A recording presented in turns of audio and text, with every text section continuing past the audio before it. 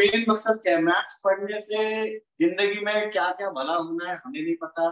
ज़िंदगी में मैथ्स कभी कभी यूज़ आएगी, नहीं आएगी, उसका कोई मतलब नहीं अभी अपना एक ही टारगेट है कि हमारे मेंस और एडवांस के एग्ज़ाम में मैथ्स आती है।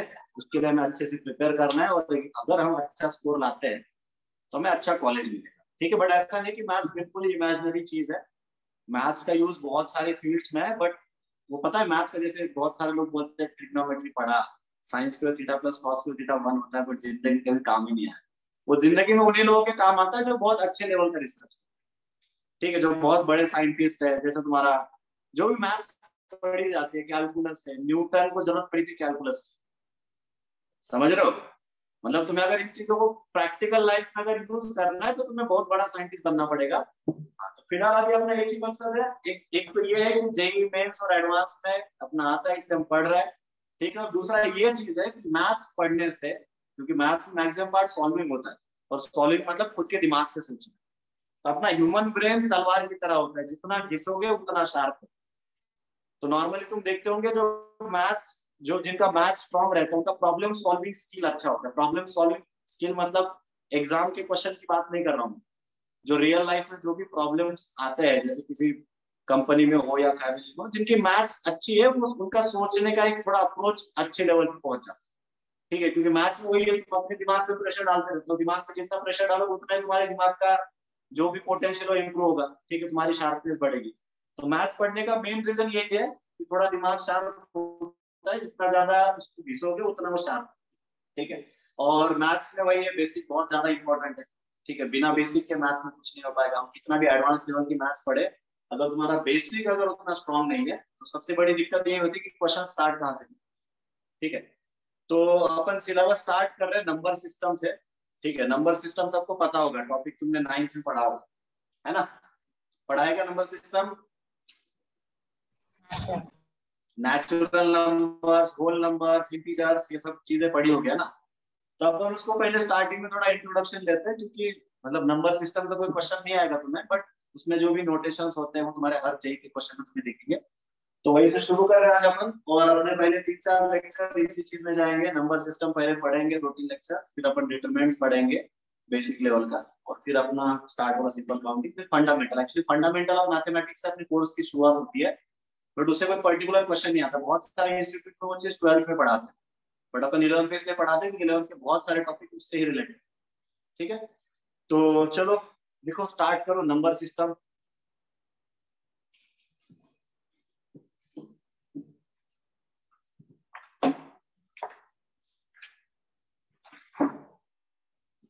तो सबसे पहले क्लासिफिकेशन ऑफ़ नंबर्स नंबर कितने टाइप के हैं? ठीक है?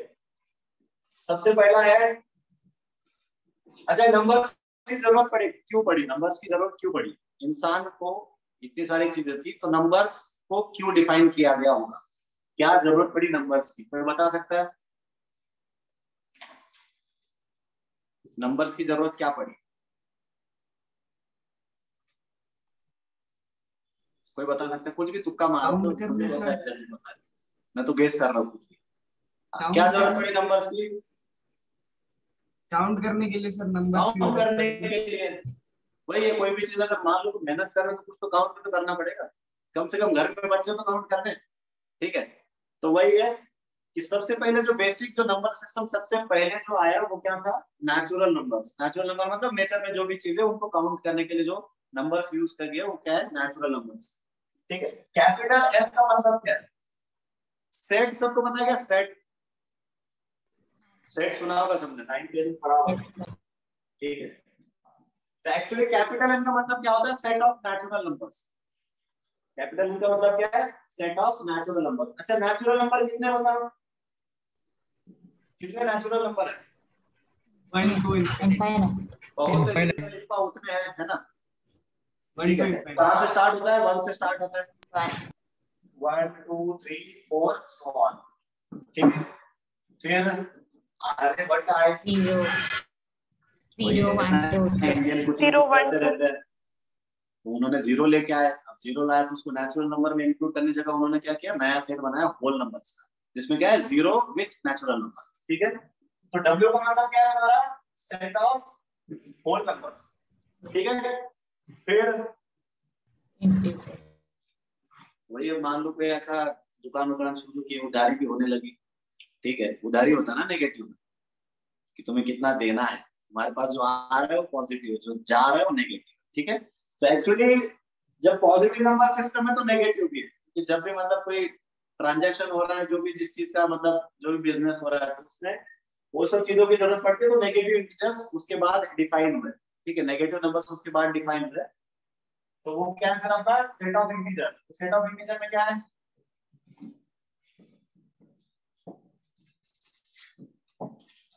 एक्चुअली ये भी कैसा सेट है? ये इनफाइनाइट सेट है, ये इनफाइनाइट सेट है, ये भी इनफाइनाइट ठीक है? अच्छा इंटीजर्स को हम किससे डिनोट करते हैं? इंटीजर को आई या फिर जेड ठीक है कभी कभी आई लिखते हैं कभी कभी जेड ठीक है? तो ये क्या है? सेट ऑफ़ इंटीजर्स ठीक है? इंटीजर हो गया। उसके बाद क्या है फिर? Rational numbers रैशनल नंबर आए। ठीक है उसके बाद क्या आया? रैशनल नंबर आया। ठीक है तो रैशनल नंबर क्या होता है?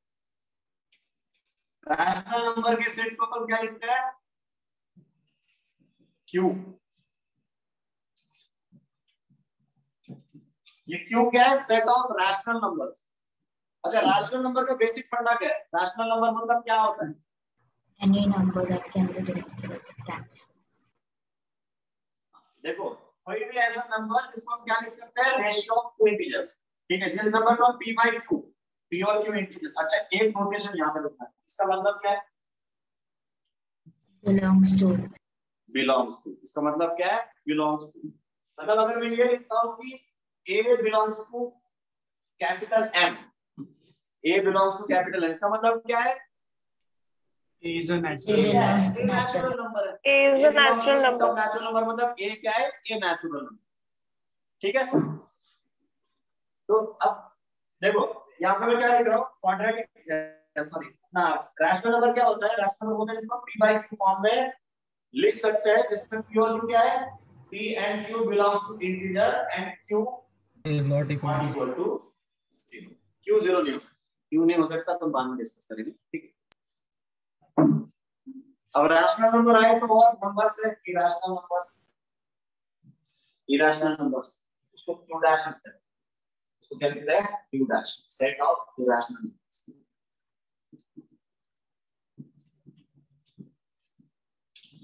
Q dash क्या है? सेट ऑफ़ इरेशनल नंबर्स अब ये इरेशनल क्या होता है? कोई ऐसा नंबर जो इसके फॉर्म में ना हो।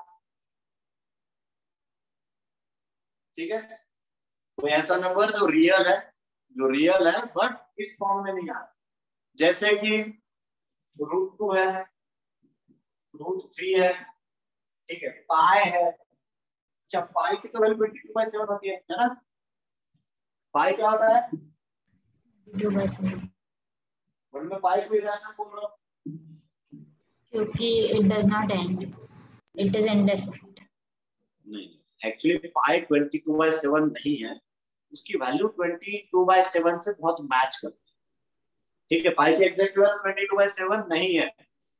ठीक है, ये क्या है इसकी? अप्रोक्सीमेट वैल्यू ठीक है, इसकी अप्रोक्सीमेट वैल्यू है।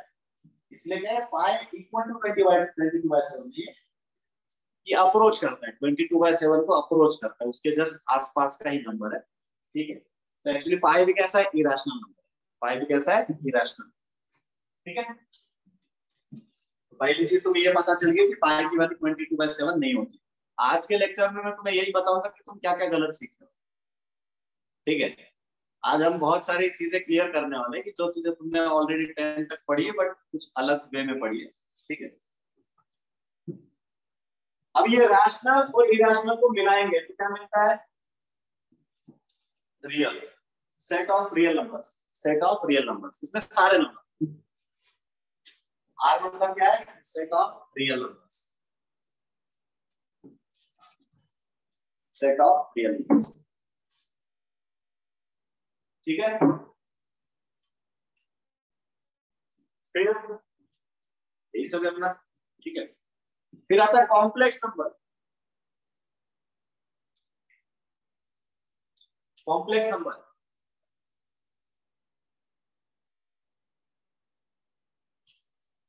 complex number पता है? ये शायद तुम लोगों ने सुना है इमेजिनरी नंबर पता है imaginary imaginary numbers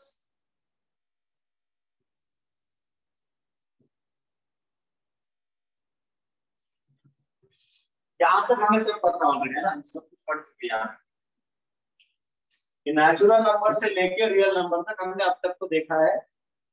imaginary numbers क्या होते हैं? जैसे कि मान लो माइनस वन किसी का स्क्वायर है क्या?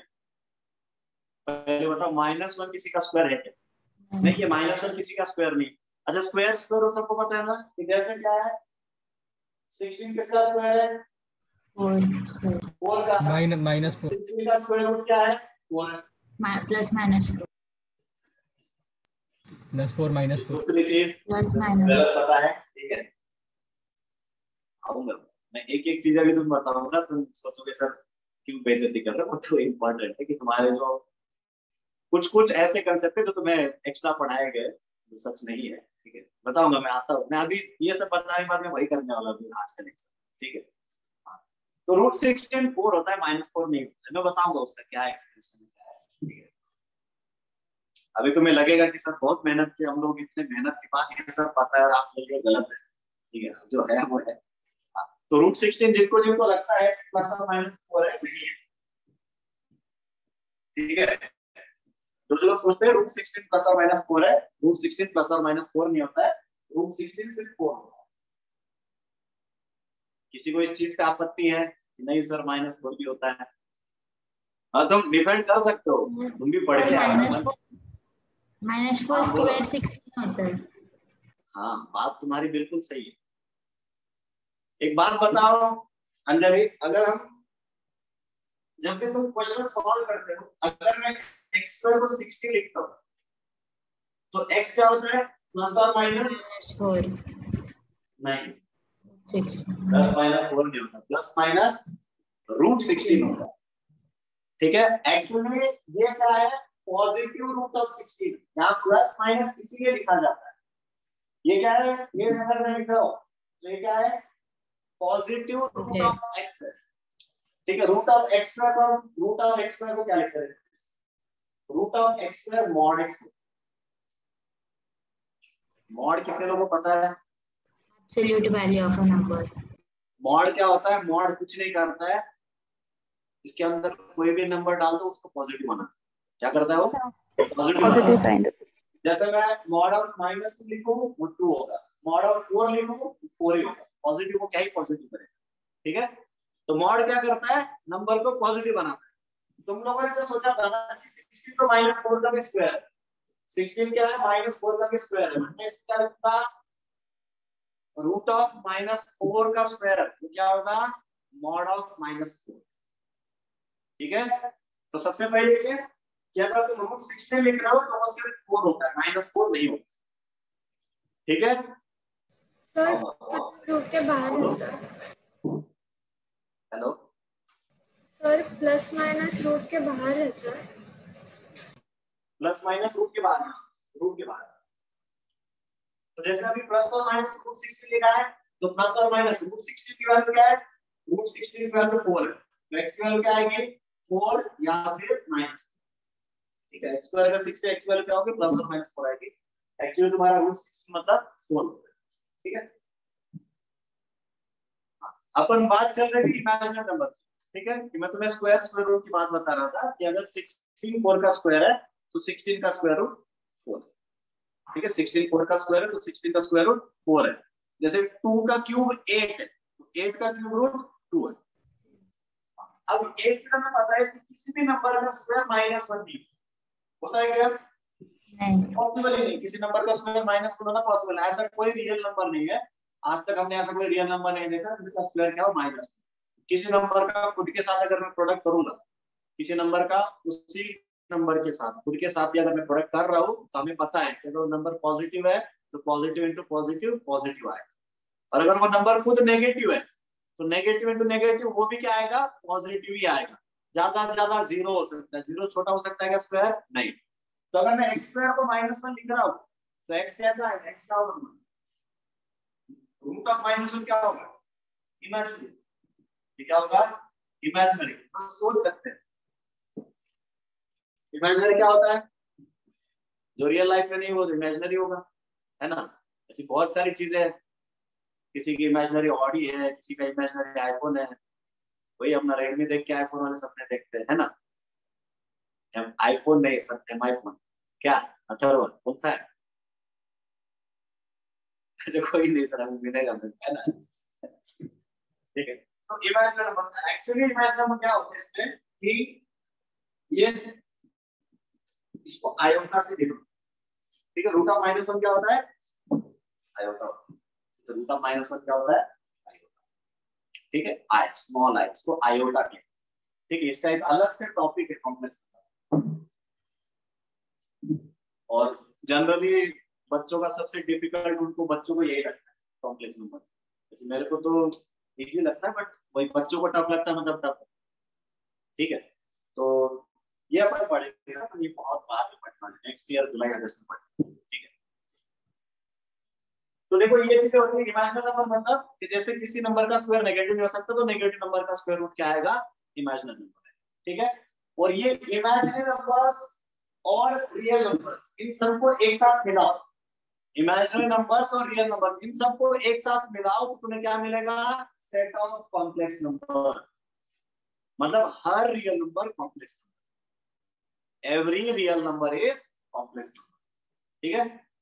कॉम्प्लेक्स नंबर का मतलब क्या है? कॉम्प्लेक्स नंबर ऐसे लिखते हैं कॉम्प्लेक्स नंबर को जनरली हम जेड लिखते हैं मतलब सेट की बात नहीं कर रहा हूँ नंबर को लिखते हैं। सर जिसको हम प्लस आई भी लिखते हैं। कॉम्प्लेक्स नंबर को क्या लिखते हम लोग?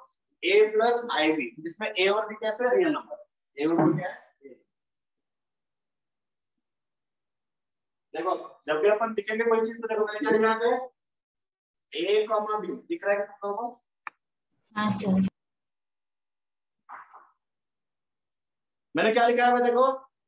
ये a comma b belongs to r ये अब तुम्हारे हर क्वेश्चन में ये चीज़ तो मेंशन की रहेगी कि नंबर कैसा है तुम्हारा। तो a और b रियल है और अगर हम a प्लस आई बी लिखते हैं। देखो एक्चुअली मैंने ये आई बी मतलब क्या है देखो। अगर मैं रूट माइनस सिक्सटीन लिख रहा हूँ। सर जेड मतलब? हाँ? जेड मतलब? Z मतलब कॉम्प्लेक्स नंबर को इन जनरल हम z लिखते हैं। ठीक है कॉम्प्लेक्स नंबर क्या लिखते हैं? Z लिखते हैं। ये set of complex number z नहीं है कॉम्प्लेक्स नंबर को खुद को z लिखते ठीक है? और इंटीजर्स भी जेड है ना? क्या हुआ? इंटीजर्स इंटीजर वो भी जेड होता है। नहीं नहीं यही बोल रहा मैं। ये z मतलब क्या है? सेट ऑफ़ इंटीजर्स वो खुद एक नंबर की बात कर रहे है। सेट ऑफ़ इंटीजर मतलब इसमें बहुत सारी वैल्यूज़ z लिख दिया मतलब सेट ऑफ़ इंटीजर्स हो गए। ये z is equal to a plus i भी लिख रहा हूँ। Normally in general complex number को z लिखा जाता है। ठीक है इन जनरल उसको क्या लिखा जाता है? Z लिखा जाता है। वैसे लिखने के लिए कुछ भी लिख सकते हैं। एग्ज़ाम में ज़रूरी नहीं z लिखा ठीक है?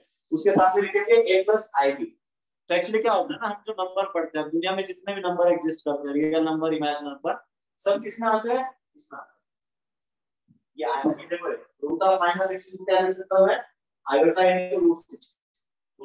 में बाहर। ठीक है? तो ये ए होता है रियल पार्ट बी होता है इमेजिनरी पार्ट देखो, हर नंबर में दो पार्ट होते हैं, हर नंबर में जो भी आप नंबर्स पढ़ोगे, हर नंबर के क्या होते हैं? दो पार्ट होते हैं। कौन से कौन से? एक रियल पार्ट और एक इमेजिनरी पार्ट वही है ना, अपने दिखाने के दांत अलग दांत अलग होते हैं, खाने के अलग होते हैं, उसी टाइप का मान लो। ठीक है? तो क्या है, हर नंबर के दो पार्ट है, एक रियल है, एक इमेजिनरी ठीक है? जो प्योरली रियल नंबर होता है, जैसे ना मैं नंबर लिख टू इसको मिटा दो क्या? ये वाला पार्ट हटाया जाए ये तुम्हें लिखना बाकी हाँ है। लिख लो अब तक कितना में लिखा है। नोट डाउन करो फटाफट चलो।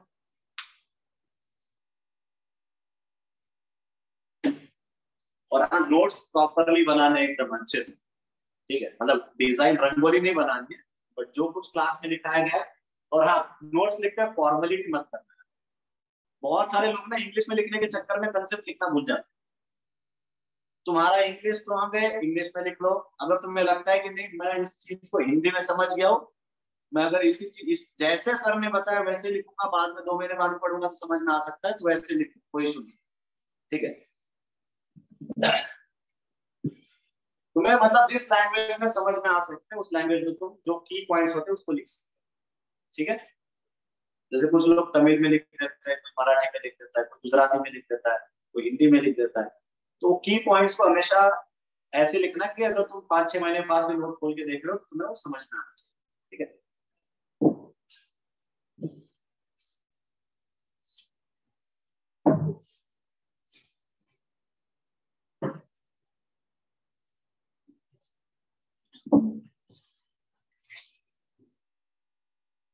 सबको प्रॉपरली दिख रहा है, आवाज़ आ रही है ना कोई इश्यू है किसी को? Thank you.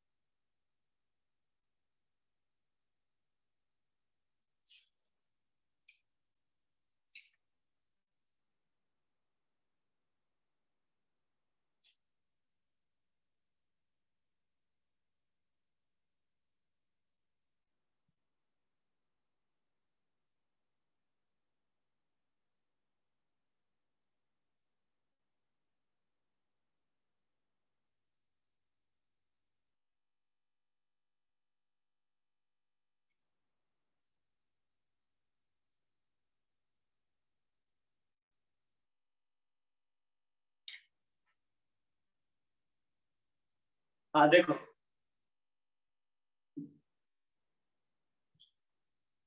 तो मैं क्या बोला अगर कोई नंबर टू है, ठीक है तो एक्चुअली इस नंबर में क्या है? रियल पार्ट टू है इमेजिनरी पार्ट क्या है?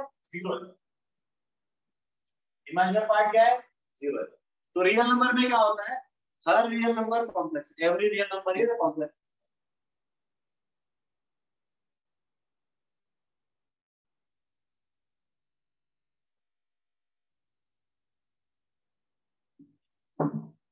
ये किसका साइन है? ये किसका साइन है? सबसेट ऑफ़ सबसेट क्या है? सबसेट और ये क्या है? Proper subset proper subset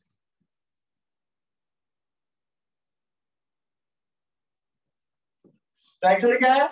Set of real number subset of set of complex number मतलब हर real number complex number subset का मतलब क्या होता है? अगर मैं ये लिखता हूँ कि A is the subset of B तो इसका मतलब क्या है? सबसेट का मतलब क्या होता है?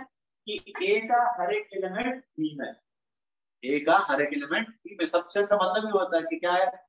जितने एलिमेंट ए में वो सारे के सारे B में ऑलरेडी एग्जिस्ट करते हैं। ठीक है? तो हर रियल नंबर कैसा होता है? कॉम्प्लेक्स नंबर होता है।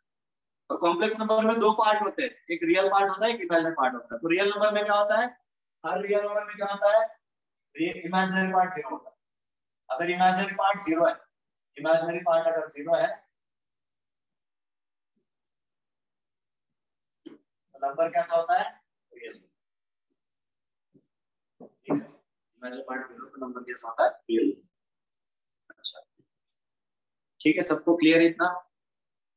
ठीक है? अब थोड़ा अपन अपने काम की बातें करते हैं। नंबर सिस्टम को कंप्लीट किया ठीक है, अब अपन को क्या क्या ज़रूरत है इस चीज़ में। चलो ज़ीरो कैसा है? मैंने बोला ना हमारे टॉपिक में ज़ीरो से स्टार्ट करते चलो ज़ीरो से स्टार्ट करते हैं। ज़ीरो कैसे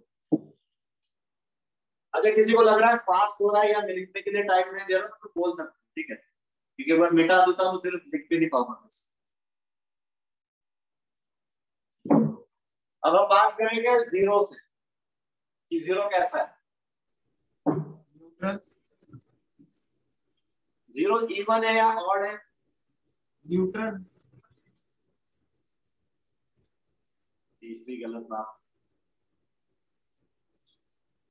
zero even number.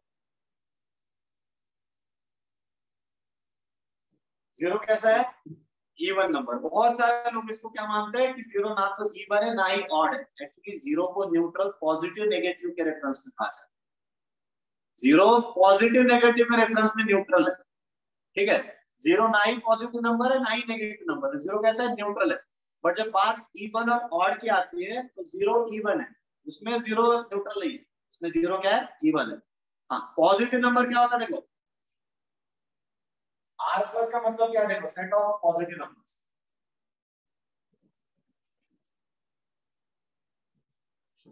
R plus का मतलब क्या है? सेट ऑफ़ पॉजिटिव नंबर्स इसमें ज़ीरो नहीं आता, क्योंकि ज़ीरो पॉजिटिव नंबर क्या नहीं है. ज़ीरो क्या है? न्यूट्रल ठीक है? तो ज़ीरो न्यूट्रल किस केस में है? पॉजिटिव नेगेटिव वाले केस बट इवन ऑड में क्या है? ज़ीरो इवन है ये बहुत सारे बच्चों को कंफ्यूजन है सर, हमारे टीचर हमें क्लास में बोला है कि ज़ीरो इवन ऑड नहीं है. ज़ीरो इवन है ठीक है? क्यों सर क्या हुआ? वाई ज़ीरो ज़ीरो इवन देखो मैं कुछ अपने देता हूँ ठीक है? वैसे एक्चुअली मुझे इसलिए पता है कि मेरी बुक में इवन लिखा हुआ है ठीक है? हाँ बट रीजन क्या है? देखो अगर दो ऑड नंबर का डिफरेंस लिख लो ऑड माइनस ऑड क्या आता है? Even even even minus even क्या आता है? इवन इवन ठीक है? अब थ्री ऑड नंबर है। थ्री माइनस थ्री क्या आ रहा है? ज़ीरो टू माइनस टू क्या आ रहा है? ज़ीरो अच्छा एक चीज़ और नेगेटिव नंबर भी इवन ऑड होता है। हर इंटीजर जो भी इंटीजर तुम्हें पता है पॉजिटिव और नेगेटिव वो या तो इवन होता है या तो ऑड होता है। जैसे इवन नंबर्स की बात करूँ मैं इवन नंबर्स में क्या क्या है? माइनस टू ज़ीरो है।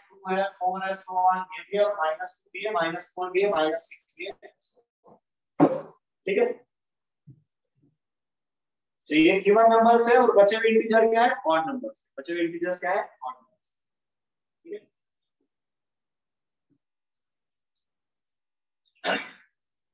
तो ज़ीरो इवन नंबर है और ज़ीरो कैसा है ज़ीरो साइन के मतलब पॉजिटिव नेगेटिव बारे में बात की जाए तो ज़ीरो न्यूट्रल ठीक है आर प्लस क्या है सेट ऑफ़ पॉजिटिव नंबर्स मतलब नंबर ग्रेटर देन ज़ीरो अच्छा तीन चार साइन और है।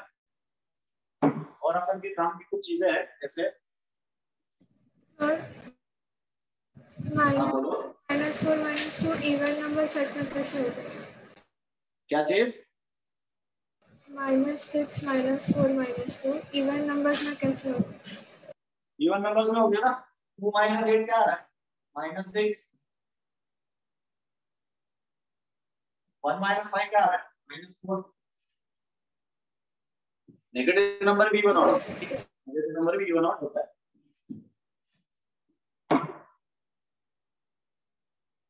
सर बट इवन नंबर मतलब when you divide an even number by two hmm then it should result in an integer right zero is a multiple of every number zero is a multiple of every number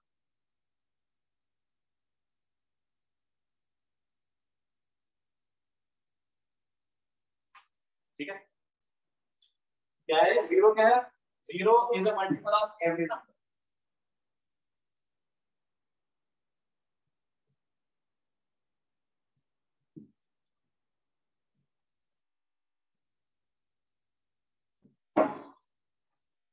ठीक है clear है? Multiple का मतलब क्या होता है? कि जैसे A is a multiple of B तो ए बाय b इंटीजर है। तो zero by any number integer आता है। ठीक है?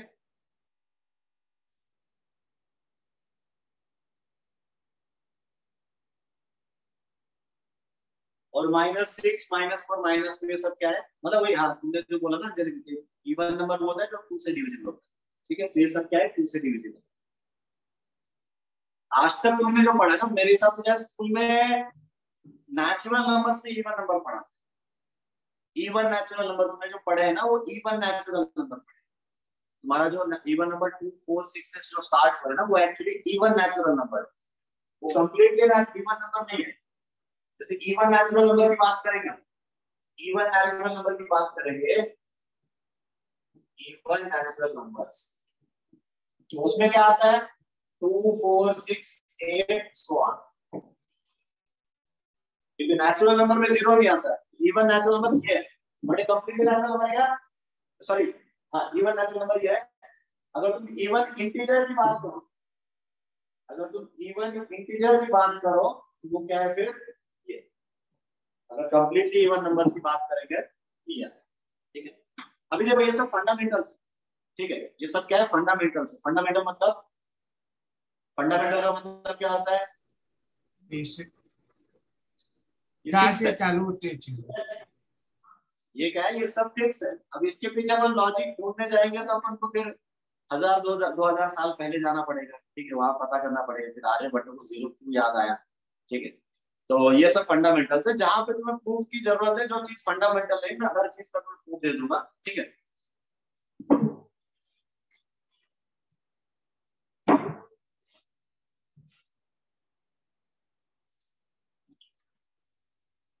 तो बात ज़ीरो की चल रही है।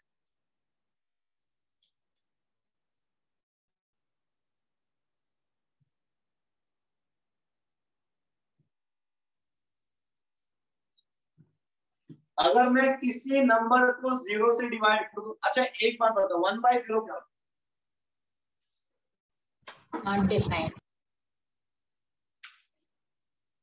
अब मैं थोड़ा कंफ्यूज करूँगा ठीक है? ये मेरा तरीका है मैं बच्चों को पहले जानबूझ के कंफ्यूज करता हूँ एक बार कंफ्यूजन आ जाए ना तो इंसान चीज़ों को याद रखे।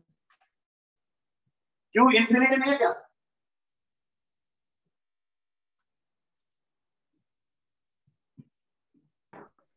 वन बाय ज़ीरो इन्फिनिटी नहीं है क्या इन्फिनिटी क्या होता है? इन्फिनिटी है सर इन्फिनिटी है। हाँ? इन्फिनिटी है। इन्फिनिटी है। कितने लोग कहते हैं कि one by zero infinity VMM sir हाँ बोलो आरसीएम सर ये साइसा भगत शायद लेट ज्वाइन किया है इसका इंट्रोडक्शन नहीं किया शायद बच्चों के साथ साइसा भगत हाँ साइशा का इंट्रोडक्शन तो ज़रूरी है। साइशा कैमरा ऑन करो अरे कुणाल कुणाल श्रुति चलो श्रुति का तो शायद नेटवर्क इशू होगा। जिनका नेटवर्क इशू है वही लोग सिर्फ़ कैमरा ऑफ़ रखो ठीक है? बाकी जिनका नेटवर्क अच्छा है कैमरा ऑन ही रखना। साइशा कैमरा ऑन करो अपना। और हम तो चाहते हैं कि साइसा अपनी थोड़ी सी वो बताए पूरा ड्रीम वगैरह बच्चे भी मोटिवेट हो। साइसा बहुत मोटिवेटिंग सर बाद में बाद में ना कभी कभी अच्छा अरे बता दे। अभी अपना इंट्रोडक्शन दो कौन सा स्कूल है कहाँ रहते हो ठीक है? Okay. Okay. Uh, so hi, my name is Aisha Bhagat. I stay in Kalwa. My school is St. John the Baptist High School. I'm proud of it. और क्या बोलूँ सर नहीं और क्या सर कुछ बोलने के लिए है ही नहीं बाद में जब आएँगे क्लास में तब मज़ा करेंगे देखो बहुत सारे बच्चे ऐसे सोचते थे हमारे पहले बैच वाले भी बहुत कम लोग हैं जो आप आए लॉकडाउन तो अपन कहाँ थे अपन बात कर रहे थे ज़ीरो की। तो वन बाय ज़ीरो क्या होता है? वन बाय ज़ीरो क्या होता है? कुछ लोगों का कहना है नॉट डिफाइंड कुछ लोगों का कहना है इन्फिनिटी इन्फिनिटी कितने लोगों का कहना है? हैंड रेस करो। हैंड रेस करो मतलब यहाँ पे जूम पे। ऐसे हाथ में तो उठा लेना, मेरे को सबके फ़ोटो नहीं दिख रहा। अमिताभ कहता है कि वन बाय ज़ीरो इन्फिनिटी और कौन कौन है? इसमें न्यूट्रल लोग काफ़ी रहेंगे ना? सर हम बोलेंगे नहीं। बोलो भाई, कोई दिक्कत नहीं है। कोई यहाँ पे तुम्हारी कोई इंसान नहीं हो रही है, अपन बस डिस्कस कर रहे हो। सकता कोई नई चीज़ तुम मुझे बता दो। ठीक है? अपन चीज़ों को डिस्कस कर रहे हैं, सीखने आए पढ़ने आए हो क्या? कितने लोग विराज में पढ़ने आए भाई? क्या आयुष, विराज में पढ़ने आए क्या तो अरे भाई, सीखने आए हो, पढ़ने नहीं आए। ठीक है, तुम्हें सीखना है। हम पढ़ाते नहीं है। पढ़ाने के पहले हमारा हम पढ़ाते नहीं, हम सिखाते हैं। ठीक है, अपन सीखना है और सीखता इंसान, तभी जब हम डिस्कस करते हैं। ठीक है?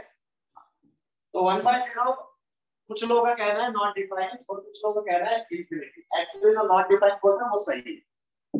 ठीक है? नॉट डिफाइंड कह रहे हैं, वो सही तो इन्फिनिटी क्या होता है? इन्फिनिटी क्या होता है? ठीक है? इन्फिनिटी मतलब एक बहुत बड़ा नंबर इन्फिनिटी क्या है? बहुत बड़ा नंबर ठीक है? मतलब तुम जितना बड़ा नंबर लिख रहे हो, उससे और बड़ा। ठीक है, इसमें कितने डिजिट्स का इंटीजर होगा वो? नहीं पता, जितना लिख पाओ। तो इंटीजर ये इन्फिनिटी का मतलब क्या रेफरेंस है। बहुत बड़ा नंबर है। सबसे बड़ा नंबर क्या है? इन्फिनिटी तो एक्चुअली क्या होता है? जैसे तुम वन को किसी नंबर से डिवाइड करो, जैसे वन बाय टू कर। या वन बाय पॉइंट कर दिया one by ten one by ten क्या आता है? Point one. One by one क्या आएगा one one by point one क्या आएगा टेन एक चीज़ बताओ मुझे, मैं ये क्यों लिख रहा हूँ? कितने लोगों को समझ में आ रहा है कि ये चीज़ मैं क्यों लिख रहा हूँ? अगर ये कोई बता पाया तो फिर मुझे बहुत खुशी होगी। मतलब वही है ना कि मैं कहाँ तक जाना चाहता हूँ। कोई बताएगा ये? एक के एक के डिफरेंस में दूसरा इट इज़ इंफिनिटी एक्चुअली क्या है ना डिनोमिनेटर की वैल्यू जितनी कम होती है उतना क्या होता है रेशियो बढ़ता है। डिनोमिनेटर टेन था आंसर पॉइंट वन आया। वन था वन आया। पॉइंट वन है टेन हो गया। One upon zero point zero one है वन से हंड्रेड आया। तो one upon smallest positive number लिखो।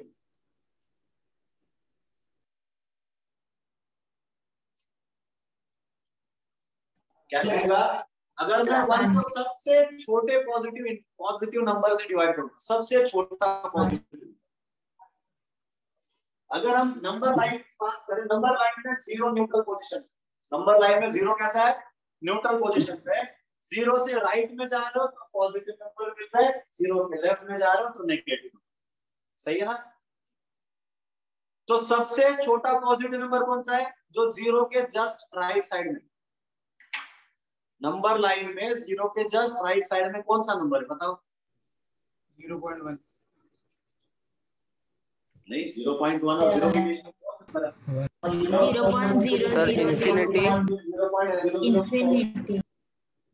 हाँ, क्या point infinite times zero one ना? Zero point infinite times zero one. Actually zero से जो जस्ट बड़ा नंबर एक्चुअली इसकी एग्जैक्ट वैल्यू कोई है नहीं। बट हम इसको क्या लिखते हैं?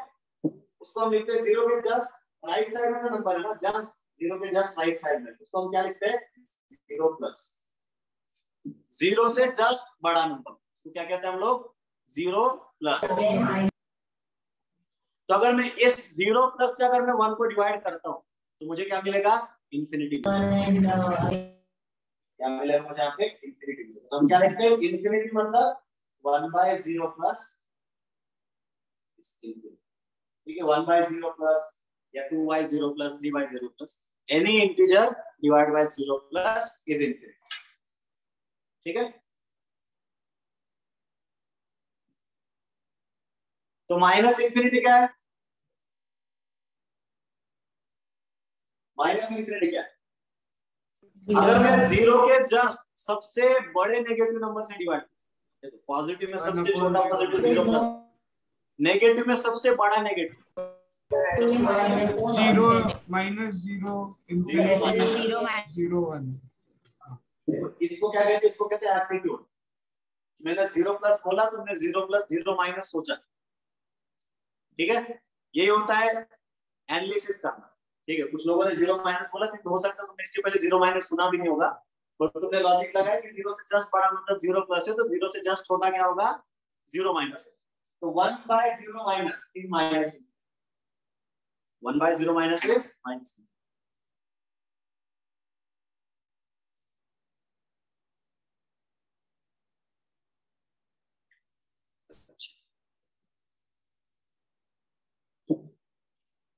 ठीक है सेम चीज़ वन से जस्ट बड़ा नंबर वन प्लस वन से जस्ट बड़ा नंबर छोटा नंबर ठीक है? वन से जस्ट बड़ा नंबर क्या है? वन प्लस वन से जस्ट छोटा नंबर क्या है? वन माइनस ठीक है?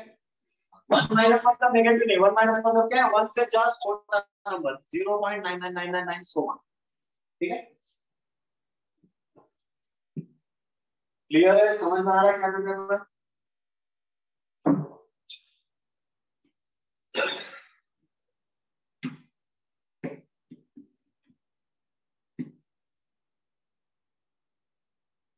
नंबर अच्छा पैरेलल लाइंस कहाँ इंटरसेक्ट करती है?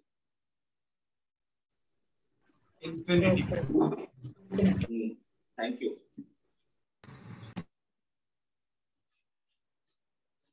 पैरेलल लाइंस कहाँ इंटरसेक्ट करती है? इन्फिनिटी है ना? अच्छा कितने लोग हैं जो इन्फिनिटी पे नहीं मानते हैं? पैरेलल लाइंस इंटरसेक्ट कहाँ करती है? कितने लोग कहते हैं कि सर इन्फिनिटी पे इंटरसेक्ट करती है पैरेलल लाइंस अभी भी नहीं if they are truly parallel they don't intersect. Sir they don't intersect देखो कुछ लोग हैं जो मानते हैं पैरेलल लाइंस इंटरसेक्ट नहीं करती ठीक है? बट मैं तुम्हें दिखाना चाहूँगा कि तुम कहीं ना कहीं एक्सेप्ट कर चुके हो कि पैरेलल लाइंस इन्फिनिटी पे इंटरसेक्ट करती है। ठीक है मैं तुम्हें बस कंसेप्ट समझाने के लिए बता रहा हूँ मैं तुम्हारे मज़े नहीं ले रहा हूँ क्योंकि ये चीज़ें मुझे पता है कि बहुत लोग बाद में दिक्कत होती है। तो अपन अभी थोड़ा एक हँसी मज़ाक में डिस्कस कर रहे हैं। ठीक है? पैरेलल लाइंस बहुत लोगों का मानना है, जैसे हम क्लास में पढ़ते हैं एट में पहली बार अपन को पैरेलल लाइंस का कंसेप्ट आता है और हमें बताया जाता है कि पैरेलल लाइंस का इंटरसेक्ट करती है इंफिनिटी पे इंटरसेक्ट करती है। बट ऐसा नहीं होता पैरेलल लाइंस कहीं कर सकती ठीक है? इंफिनिटी वर्ड इसलिए यूज़ किया जाता है कि हो सकता है बाद में इंटरसेक्ट करे, कहीं दूर जाके। बट पैरेलल लाइन कहीं भी जाए, वो इंटरसेक्ट कभी नहीं करती। ठीक है? तो पैरल लाइंस इंटरसेक्ट नहीं करती। हाँ। एक कंसेप्ट हम यहाँ पे ऐसा पढ़ते हैं, जैसे तुमने वो पढ़ा होगा ऑप्टिक्स पढ़ा होगा ना? टेंथ में था ना रे ऑप्टिक्स वो इमेज वगैरह बनाते हो डायग्राम बनाए होगे ऑप्टिक्स के? ऐसा मिरर बनता है? कॉन्वेक्स और कॉन्केव लेंसेस का ना? हाँ। अब देखो इस मिरर को क्या कहते हैं एग्जैक्टली पता नहीं है। बट इसका मेरे को एक कंसेप्ट पता है जो मैं तुम्हें इसमें बता सकता हूँ। ये कौन सा मिरर है? कॉन्केव चलो मान। ठीक है? एक्चुअली इमेज कैसे बनती है? कि जो भी रे आते हैं ना यहाँ पे ऑब्जेक्ट रखा हो तो यहाँ क्या होगा ये लाइट रे आएगी इधर कैसे आएगी? पैरेलल जाके फोकस पे ये होगी सर फोकस ऊपर से पैरेलल जाएगी। ऊपर से पैरेलल जाके फोकस से पास ऊपर से बात नहीं कर। रहा हूँ मैं एक्चुअली ये बोल रहा हूँ कि जैसे यहाँ से एक रे निकलती है वो वापस आके रिफ्लेक्ट होकर टकराती है ना ऐसा कुछ। इस टाइप का ना? हाँ। ऐसा होता है ना? नहीं और जहाँ पे इंटरसेक्ट करती है वहाँ इमेज बनती है जहाँ पे इंटरसेक्ट करती है वहाँ पे इमेज बनती है। बट अगर हम ये बोले कि फोकस पे अगर तुम ऑब्जेक्ट को फोकस पे रखते हो फोकस पे। तो जो रिफ्लेक्टेड रेज होते हैं अच्छा फोकस पे अगर मैं ऑब्जेक्ट को रखूँगा तो इमेज कहाँ बनेगी? अंजलि? जस्ट बिलो कहाँ पे बनती है?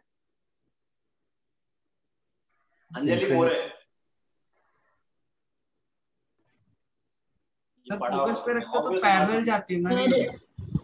कहाँ पे बनती है? नहीं मैं पूछ रहा हूँ कि फोकस पे रखे तो पैरेलल जाती है ना रेज हाँ बट हम मानते हैं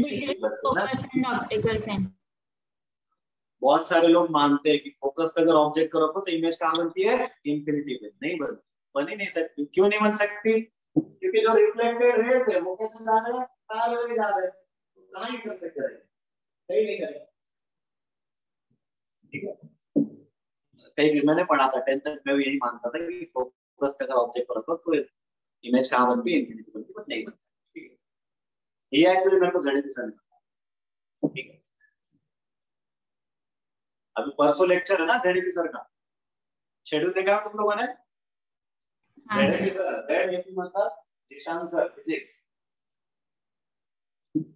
एक्चुअली ये कोड लोग, हम लोगों ने इसलिए रखे कि हम पहले जहाँ पे पढ़ाते थे, इसी नाम से हमें बच्चे जानते और हमारे स्टार्टिंग के दोनों बैच वही बच्चे थे तो हमने फिर नाम ले लिया। चलो, यही करते ठीक है।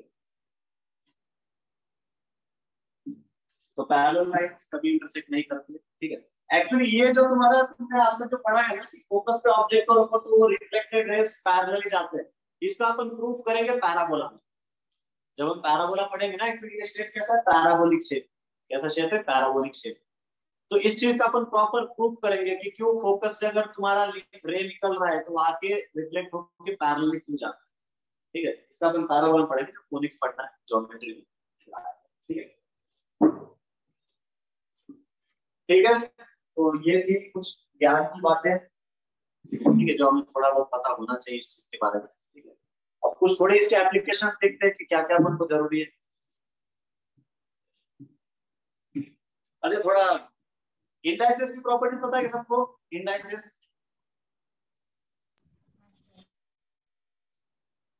इंडाइसिस अरे इंडाइसिस मतलब एक्सपोनेंट वाला। A raise to B B raise to A सब पता है ना सबको? सर मेरे पास एक बहुत इंटरेस्टिंग क्वेश्चन है।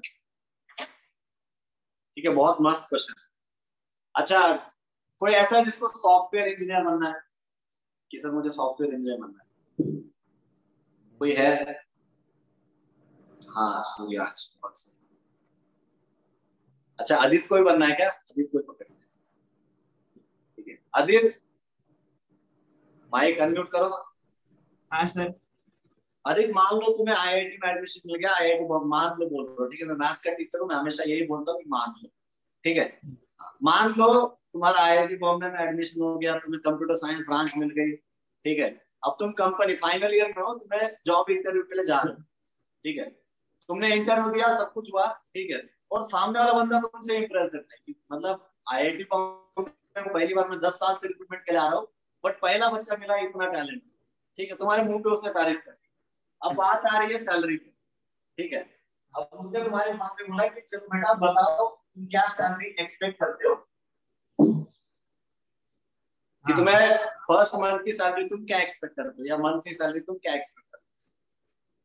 तो बताओ। पाँच लाख। कितना? मंथ मंथली ना? मंथली हाँ मंथली मंथली अरे भाई आईआईटी बॉम्बे की बात कर रहा हूँ मैं। आईआईटी बॉम्बे में उस कंपनी ने तुझे बोला है सबसे बेस्ट है। आईआईटी बॉम्बे एक दो करोड़ तो ऐसे ही मिल जाता साल का। तो सर मैं तो बोलूँगा दस लाख। दस लाख। ठीक है फिर भी इसने कम ही बोला है। दस लाख। तो क्वेश्चन यही सिर्फ़ शुरू होता है if a raised to b plus b raised to a is equal to 10 lakh then find the value of a plus b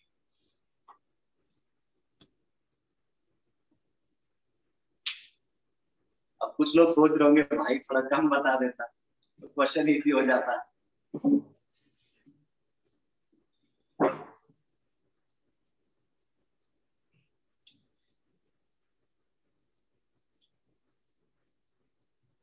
नहीं पता सर। क्या हुआ? नहीं पता। वीक है सर। स्टार्टिंग में पढ़ा था सर लास्ट में उसके बाद था ही नहीं। अरे इजी है कर लो मैंने इतना रैंडमली क्वेश्चन इतना रैंडमली नंबर लिखा मतलब कुछ तो इसमें लॉजिक है तुम्हें लॉजिक के पीछे भागना है ठीक है?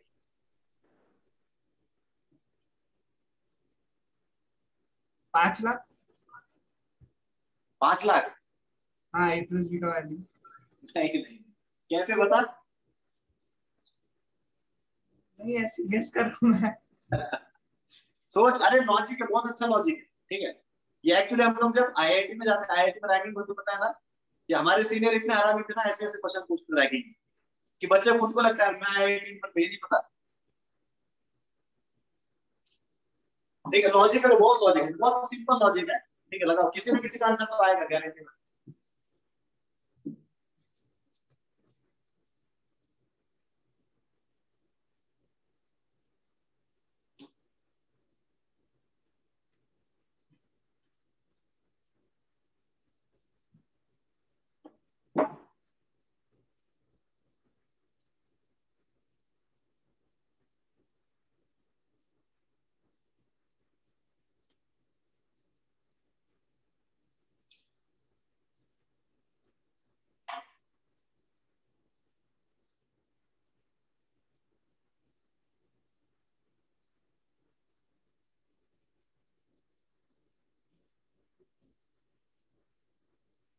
प्रत्युष शायद सही सोच रहा है।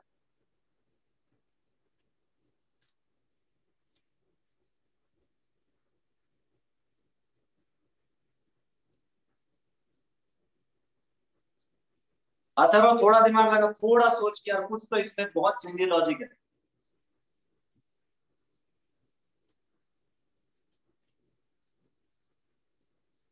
Maitrey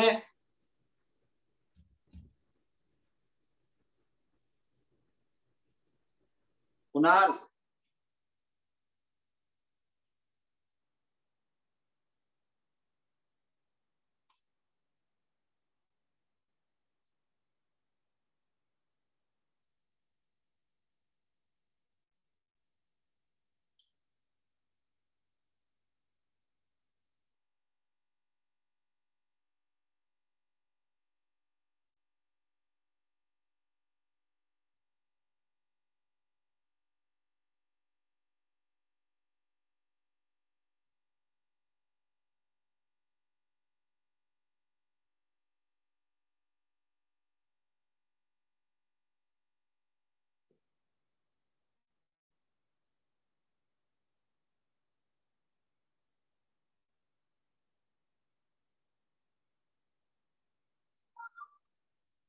hit and trial और कुछ नहीं।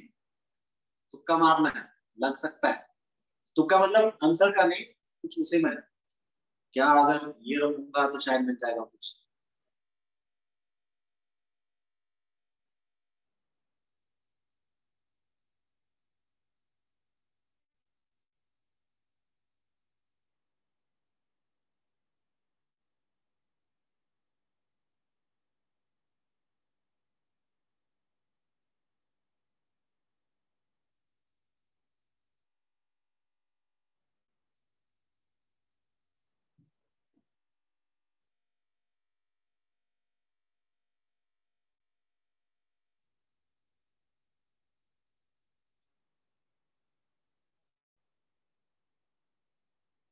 साइशा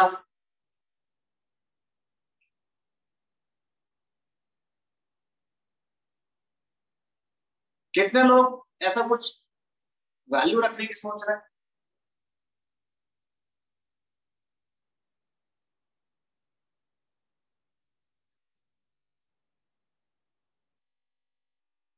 अंजलि?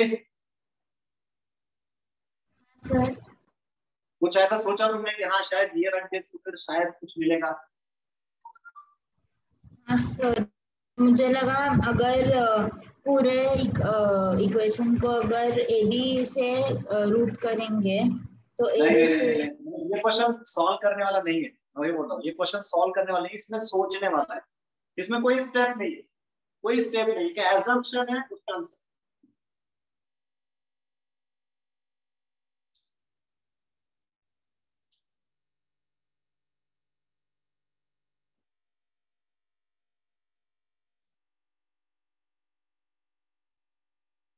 अंजलि फिर के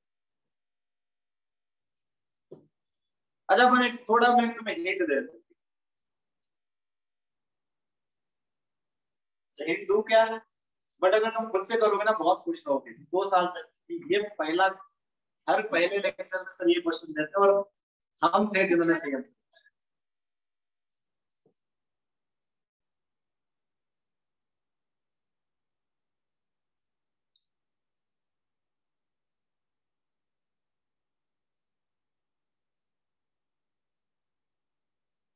अच्छा ये अभी महाजन कोई ज्वाइन किया हेलो हाँ सर हाँ, अपना वीडियो ऑन करोगे एक बार?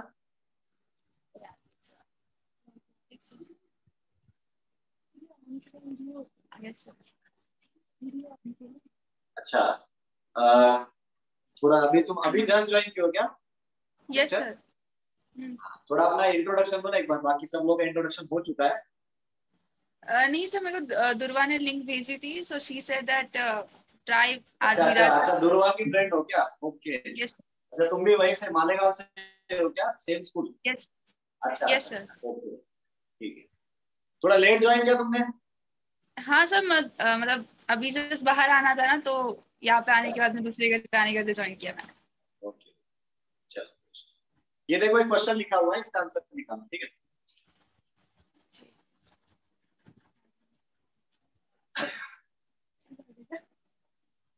अच्छा तुम्हें इस चीज़ के बारे में कुछ नहीं पता तुम्हें ऐसे कुछ एक एक वैल्यू मान लो किसी एक नंबर ए और बी में से किसी एक को कुछ वैल्यू मान लो जब मानना है तो कुछ इजी मान लो और आंसर बता दो सर अगर ए का वैल्यू वन लिया तो ए का वैल्यू क्या है वन लिया तो। अरे तो हो तो गया। ये किसने सोचा है? मैत्रेय। मैत्रेय बहुत सही सोचा है तुमने। आंसर आ गया तुम्हारा बस एक ही स्टेप बाकी तुम्हारी। करो। आवाज़ नहीं आती मान मैत्रेय तुम्हारा आंसर आ चुका है बस तुमने बस हाँ हो गया। आदित्य खुद ही निकाल लिया क्या? कितना लिखा है इसने? अरे गलत लिखा है एक ज़ीरो कम लिखा है। दस लाख की जगह एक लाख मिलेगा मान लेगा?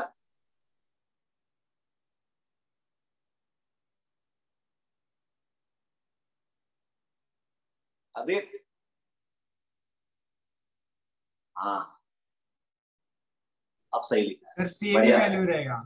सेम हाँ। वैल्यू रहेगा। है ये भी रहेगा। क्योंकि ए ए ए पावर बी है और। बी पावर ए का सेम ही वैल्यू रह सकता है ना। देखो एक्चुअली क्या है ना, अगर मान लो मैं बी को वन ले लेता हूँ, अब समथिंग रेस टू वन खुद नंबर रहेगा, और one raise to something one होगा। तो अगर मैं बी को वन मानता हूँ तो मुझे क्या करना है? A raise to one plus one raise to A is equal to ten lakh ठीक है? तो क्या मिला मुझे? A plus one is equal to ten lakh और वन क्या तुम्हारा बी पे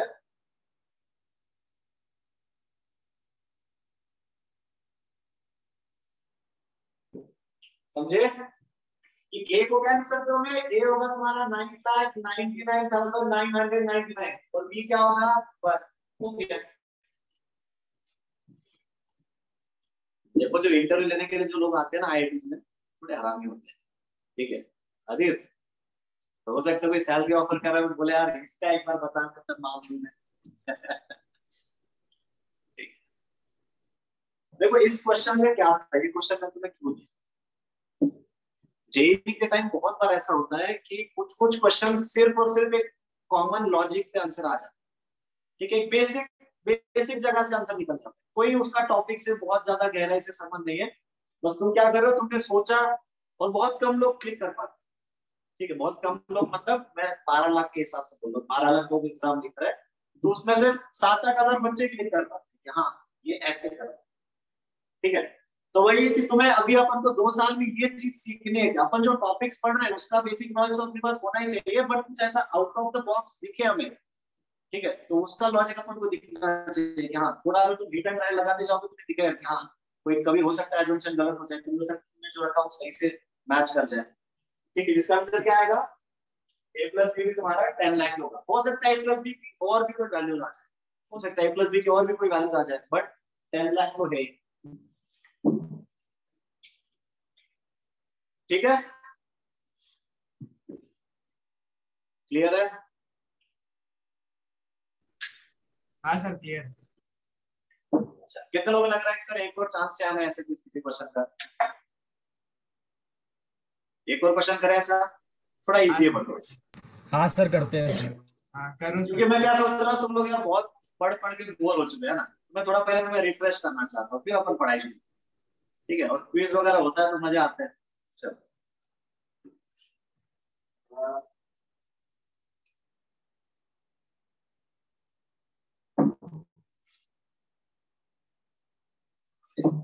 क्वेश्चन है अच्छा है पूरा। ठीक है क्विज टाइप का व्हाट्सएप पे आता है ना कुछ। व्हाट्सएप वाला तो नहीं है। ठीक है। आ, मंदिर गए कोई तुम से मंदिर मंदिर अभी लॉन्ग टर्म की बात नहीं कर रहा हूँ। ठीक है उसके पहले अभी बचपन में। हाँ। है, मंदिर चर्च जहाँ भी जाते। ठीक है। कोई गया है क्या? अपन खुद तो खाली हाथ जाते हैं घर वालों के साथ जाते हैं कहाँ पर गए फूल लेके जाते हैं। मम्मी के साथ जाते हैं मम्मी पूरा फूल वगैरह लेके मंदिर पे चढ़ाना है। ठीक है तो ऐसे मान लो तुम्हारे ऊपर एक रिस्पॉन्सिबिलिटी डाली घर वालों ने ठीक है? मैं भेजा, तुम्हें टास्क दिया कि एक जगह है जहाँ पे तीन मंदिर ठीक है? टोटल कितने मंदिर है? तीन मंदिर। तीनों मंदिर का ना थोड़ा हिस्ट्री है इसमें थोड़ी चमत्कारी मंदिर है दिख रहा है तुम्हें लास्ट तक?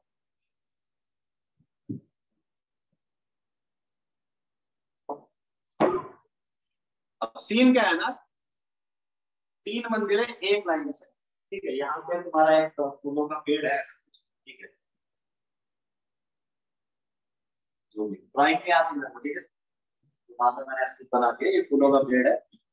ठीक है। अब तुम्हें टास्क दिया हुआ है कि तुम्हें हर मंदिर जाना है, हर मंदिर में फूल चढ़ाने हैं, और तीनों मंदिर में इक्वल नंबर फूल चढ़ाओगे इक्वल नंबर ठीक है। कि हर मंदिर में सेम नंबर ऑफ़ फ्लावर तुम्हें चढ़ाने।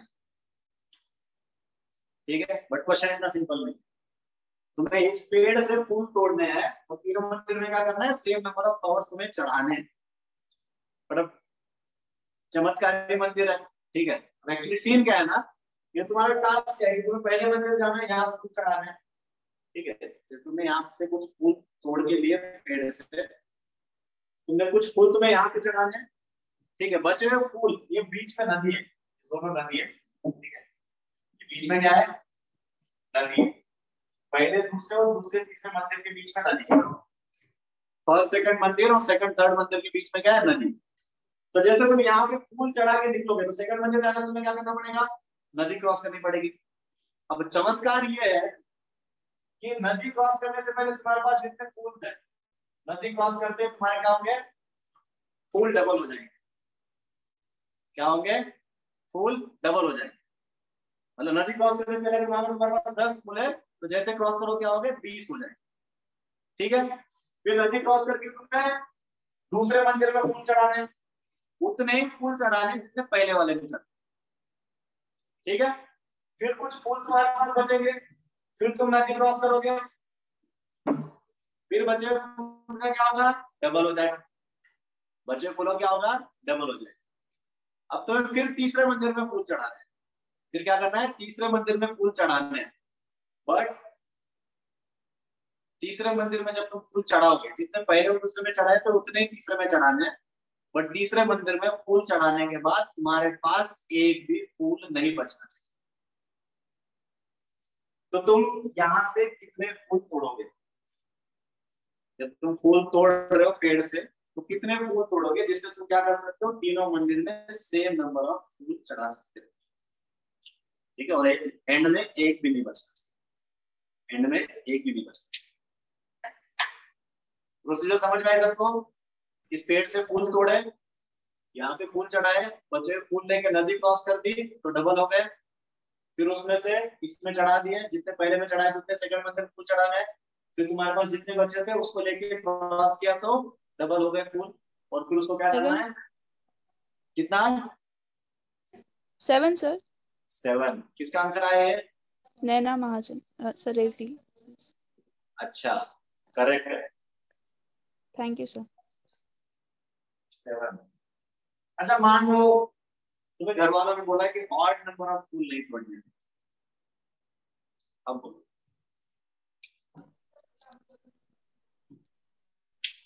क्या बोला घर वालों ने कि फूल तोड़ना बट ऑड नंबर में।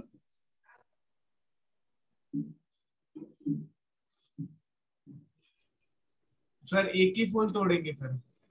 एक ही फोर एक एक वन वन वन ही फूल तोड़ेंगे हाँ। तो एंड में एक बचेगा ना?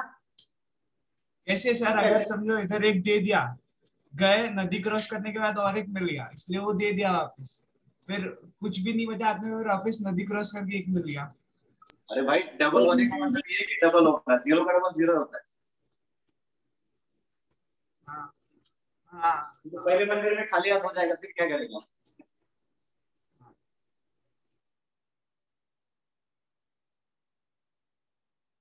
सेवन So, सही के- बट कितना? मल्टीपल से सेवन के मल्टीपल्स जो भी होंगे वो शायद से सबका सेम ही आएगा ना? सही है। Seven fourteen twenty one twenty eight सही है। अच्छा आयुष तुम बताओ अगर सात फूल तोड़े हैं तो हर मंदिर में कितने चढ़ाए जाएँगे?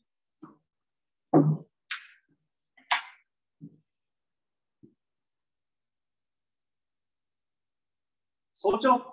फिक्स तरीका नहीं hit and try seven if we are taking seven तो फ़र्स्ट मंदिर में अपन ने फोर फ्लावर्स दिए। So we will be with three सही है। Right advice so six six में से हमने फिर से फोर दिए। तो तीन थे तुम्हारे पास तीन का छह हो जाएगा छह में से चार निकल जाएँगे। दूसरे मंदिर बचे तुम्हारे पास दो दो का डबल क्या होगा? चार और चारों तीसरे मंदिर यस सर अब देखो ये क्या है ना ये है तुम्हारा हिट एंड ट्रायल इसको हिट एंड ट्रायल से करते हैं बट तुम इसी चीज़ को अगर तुम मैथ्स के फॉर्म में लिखते हो, देखो मैथ्स क्या काम करता है? मैथ्स तुम्हें इनफाइनाइट सॉल्यूशन देता है। ठीक है इसी में थोड़ा मैथ्स लगाओगे तुम्हें बहुत सारे आंसर मिलेंगे। जैसे हम हिट एंड ट्रायल से सेवन तक पहुँचते हैं। ठीक है फिर सोचते हैं सेवन का मल्टीपल याद आता है बट अगर तुम पहले से ही मैथ्स लगाओगे थोड़ा मैथ्स का इक्वेशन यूज़ करोगे क्या यूज़ कर सकते हैं इसमें देखो? ये क्लियर हो गया सबको कि सात अगर तोड़ूँगा तो चार हज़ार हो जाएँगे? चौदह फूल तोड़ूँगा तो आठ आठ हो जाएँगे सब। ठीक है? ट्वेंटी वन तोड़ूँगा तो बारह बारह हो जाएँगे। हाँ। बट अगर मैथ्स के हिसाब से अगर इसको सोचा जाए मैथ्स के फॉर्म में अगर इसको सोचा जाए तो मान लो कि तुम कितने फूल तोड़ रहे हो? ए तुमने कितने फूल तोड़े? ए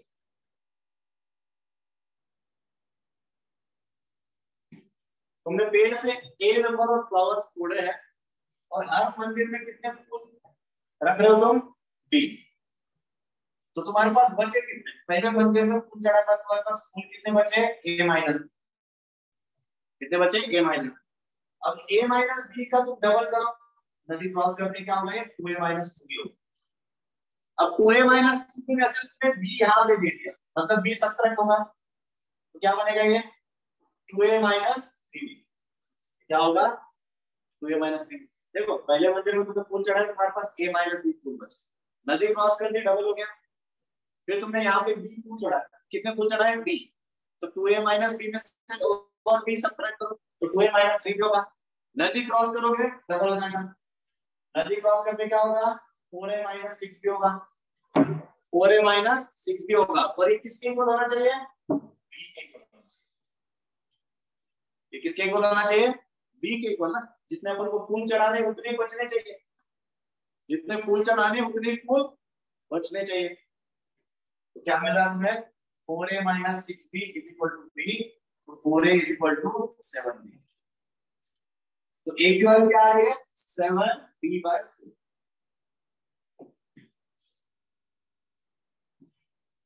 तो अगर तुम चार फूल चढ़ाना चाहते हो? हर मंदिर में चार फूल चढ़ाना चाहते हो? आंसर सेवन आए आठ चढ़ाना चाहते हो फोर्टीन आएगा ठीक है?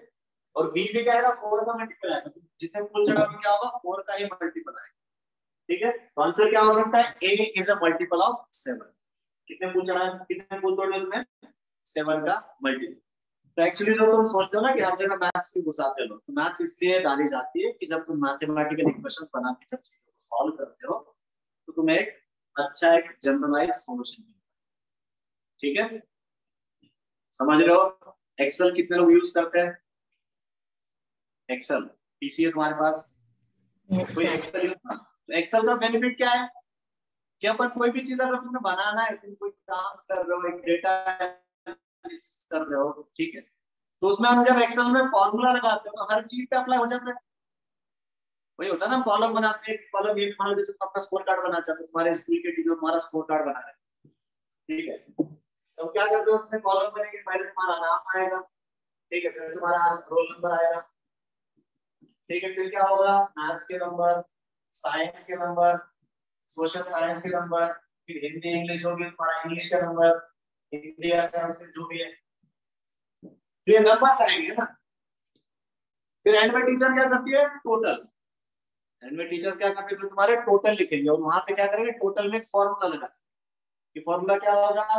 वो होता है ना, जैसे C three plus B three plus F three plus so on equal to जैसे हमारे क्या होगा, हर एक रो में टोटल आ जाएगा। फिर परसेंटेज निकालना तो परसेंटेज में क्या करेंगे? Total divide by maximum marks maximum मतलब जितने का पेपर हो रहा है इनटू हंड्रेड तो उसमें क्या मिलेगा तुम्हें? परसेंटेज उससे क्या होगा? तुरंत पूरा परसेंटेज आ जाएगा। ठीक है? तो मैथमेटिकल इक्वेशन का तो तुम्हें यूज़ देखना तो एक्सेल सबसे बेसिक कि एक्सेल जब तुम यूज़ करते हो, वहाँ पे जो भी इजीली जो भी चीज़ें तुम लिख पाते हो, जो भी तुम डेटा को इजीली एनालिसिस कर पाते हो, वो मैथ्स ही है। ठीक है? अब देखो ये चीज़ अगर मैं दस साल पहले किसी बच्चे को बोलूँ एक्सेल यूज़ किया तो बोलेगा सर कहाँ की बात कर रहे हो? मुझे एक्सेल नहीं पता। ठीक है उनको एक ही एक्सेल पता है। कौन सा? दस साल पहले मुझे तो एक ही एक्सेल पता था। क्या? अंजलि कौन सा? सर्फ एक्सेल तो देखो इक्वेशंस का एक बेनिफिट है इक्वेशंस क्या करते हैं? अपने डेटा को थोड़ा इजी बनाना ठीक है?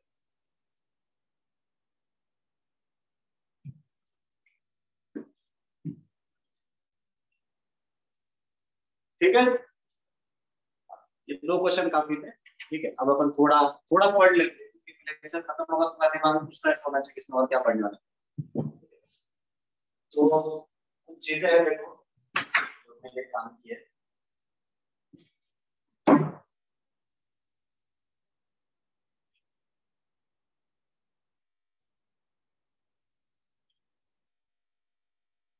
एक थोड़ा बोरिंग टॉपिक है पढ़ा हो क्या?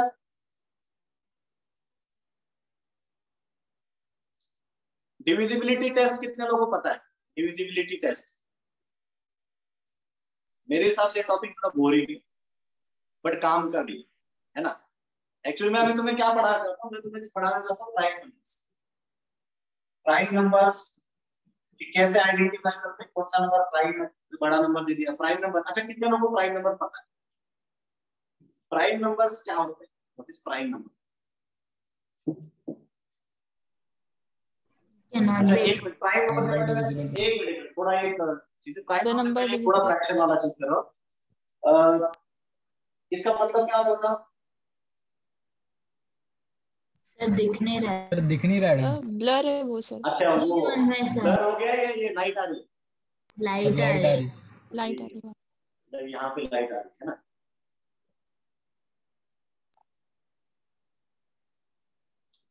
सर वहाँ पे भी लाइट है। नहीं नहीं मैंने वहाँ पे मार्क कर दिया वहाँ light mixed fraction mix mix इसको नंबर क्या कहते हैं? मिक्स्ड फ्रैक्शन देखो एक तो एक प्रॉपर फ्रैक्शन हो गया। कि न्यूमरेटर से बड़ा डिनोमिनेटर तो क्या कहते हैं? प्रॉपर फ्रैक्शन है ना? इम्प्रॉपर फ्रैक्शन क्या होता है? ये होता है। तो proper fraction improper fraction proper fraction का मतलब क्या है? कि इंटीजर बाय इंटीजर लिखा हुआ है डिनोमिनेटर में बड़ा नंबर लिखा है। तो क्या हो गया? प्रॉपर फ्रैक्शन इम्प्रॉपर फ्रैक्शन में क्या है?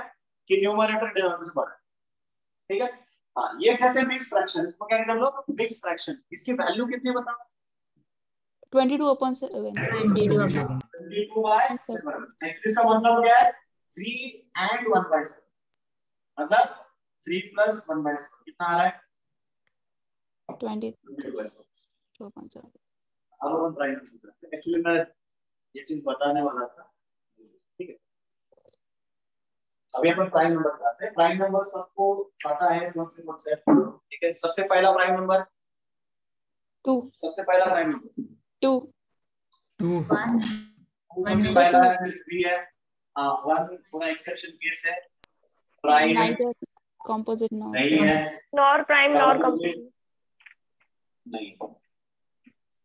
Composite प्राइम और कंपोजिट के मामले में वन न्यूट्रल ठीक है जैसे ज़ीरो पॉजिटिव नेगेटिव मामले में न्यूट्रल है ना वैसे वन क्या है?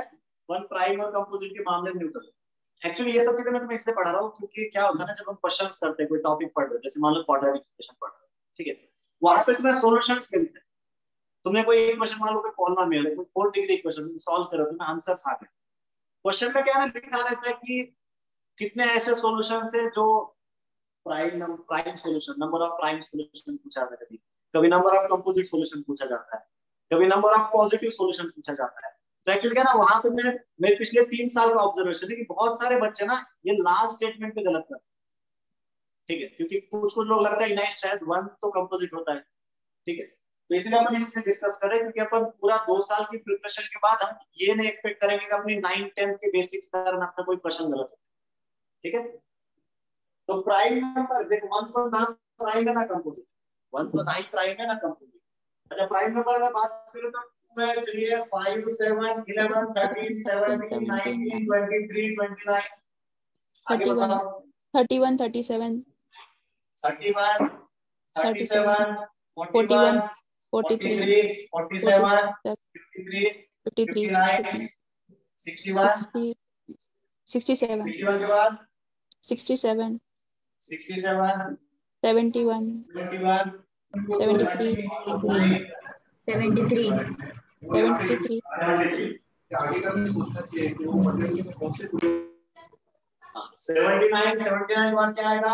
83 83 89 97 97 91 97 91 91 का मल्टीप्लाई तो वन से लेके हंड्रेड के बीच में total twenty five prime numbers twenty total कितने प्राइम नंबर्स है? Twenty five prime numbers one से लेके हंड्रेड. बट तुम सारे प्राइम नंबर को याद रख सकते हो क्या? सारे प्राइम नंबर को याद रखा जा सकता है क्या? नहीं याद मान लो मैं तुम्हें कोई फोर्टीन नंबर दे दूँ बोल दूँ कि प्राइम है कि नहीं पता। तो उसके लिए तुम्हें कुछ ऐसी ऐसी चीज़ पता होनी चाहिए जिससे तुम क्या पता कर सकते हो प्राइम है ठीक है? तो प्राइम नंबर हमें पता है स्टार्टिंग से जब ज़ीरो से हंड्रेड के हम तुरंत बता देंगे वन से हंड्रेड के बट प्राइम नंबर कैसे पता करते हैं कि प्राइम नंबर है कि नहीं? कोई नंबर प्राइम है कि नहीं उसको कैसे पता करते हैं? ठीक है? उसके पहले हमें पता होना चाहिए कि कौन सा नंबर किससे डिविजिबल होगा या नहीं होगा। जैसे कोई भी नंबर डिविजिबिलिटी टेस्ट ले लो। डिविजिबिलिटी टेस्ट ये चीज़ें मुझे पता है कि तुम लोग ऑलरेडी पता होगी बट फिर भी मैं करवा रहा हूँ ताकि तुम्हें जिसको नहीं पता वो पता चल जाए।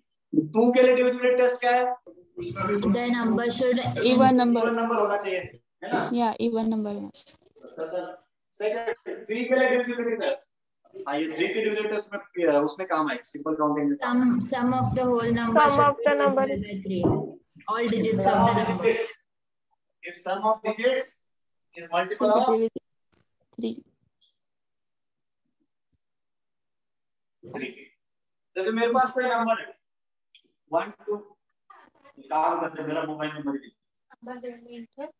गेगा पटकशीन बोलना आगे पटकशीन ये मेरा मोबाइल नंबर है ये थ्री से डिविजिबल है कि नहीं अपन को चेक कर ठीक है तो हम क्या करेंगे सिंपल डिजिट्स की एडिशन कर लेंगे डिजिट्स की एडिशन करूँगा ये nine nine plus one ten eleven eleven plus seven eighteen eighteen plus nine twenty seven twenty seven plus eleven कितना हो गया? Thirty eight plus eight forty six आ रहा है।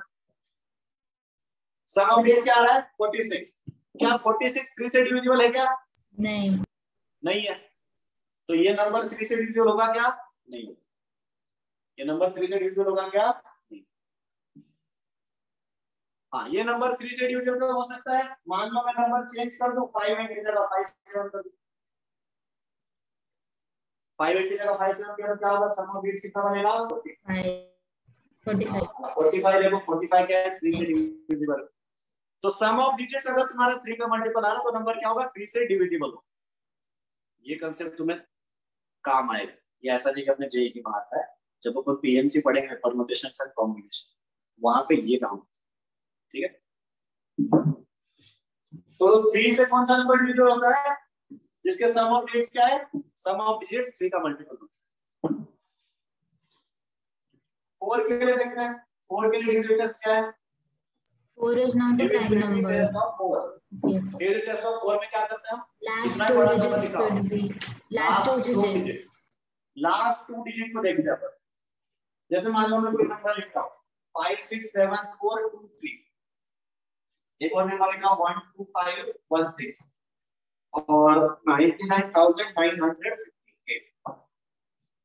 ये तीन नंबर अच्छा ऑड का मतलब है। सिर्फ़ बीच में वाला डिविजिबल है।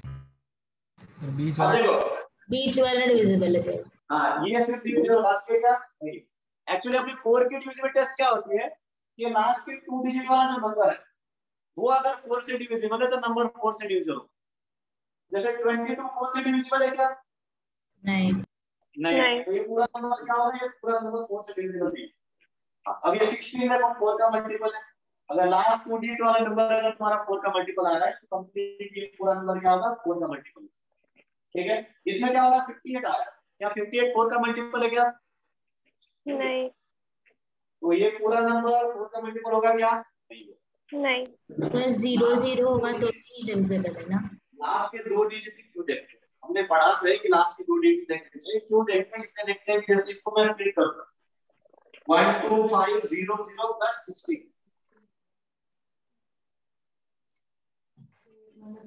actually क्या है ना कि तुम लास्ट के दो डिजिट निकाल दोगे तुम्हें क्या मिलेगा? हंड्रेड का मल्टीपल जैसे क्या है?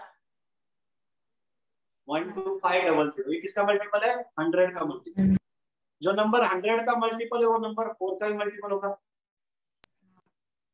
है ना? क्योंकि हंड्रेड अगर तुम फोर से हंड्रेड को डिवाइड करो तो तुम्हें क्या मिलेगा? इंटीजर ही मिलेगा। तो हंड्रेड का मल्टीपल भी क्या होगा? फोर का मल्टीपल हो गया। तो एक्चुअली ये नंबर फोर का मल्टीपल है।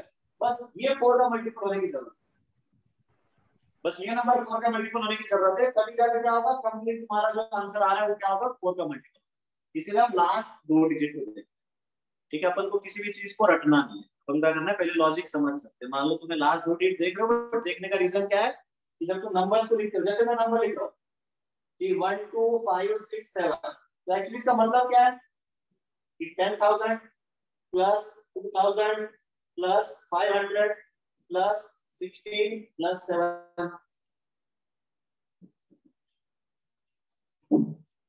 अपन जो भी नंबर्स लिखते हैं, उसका एक सिस्टम है। कौन सा सिस्टम है? इन जनरल अपन जो नंबर्स लिखते हैं कौन से सिस्टम में लिखते हैं? नहीं पता कोई। डेसिमल सिस्टम में कौन सा सिस्टम है? देखो एक ऑक्टल होता है बाइनरी होता है हेक्टल होता है। ठीक है? अपन कौन सा यूज़ करते हैं? डेसिमल है ना तो? एक्चुअली इसका मतलब क्या है नंबर का? कि इसको हम किससे मल्टीप्लाई करते हैं? देखो अगर तुम कोई नंबर लिख रहे हो उसके डिजिट से A B C D E इसको क्या कहते हैं हम लोग? यूनिट्स प्लेस है ना? ये कौन सा है? टेंस प्लेस ये कौन सा है? हंड्रेड प्लेस ये थाउज़ेंड प्लेस ये कौन सा है? टेन थाउज़ेंड जो टेन थाउज़ेंड ठीक है?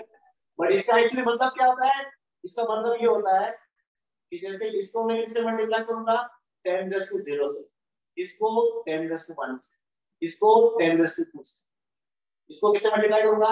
टेन रेस टू थ्री से। और इसको किससे मल्टीप्लाई करूँगा? टेन रेस टू फोर से।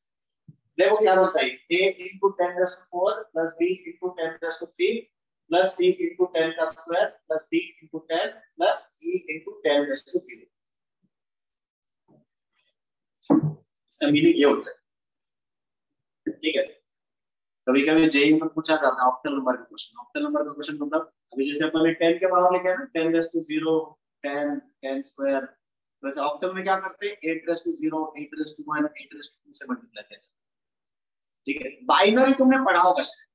कहीं तो तुम्हें किसी ने तो बाइनरी पढ़ा ही दिया पढ़ा है क्या?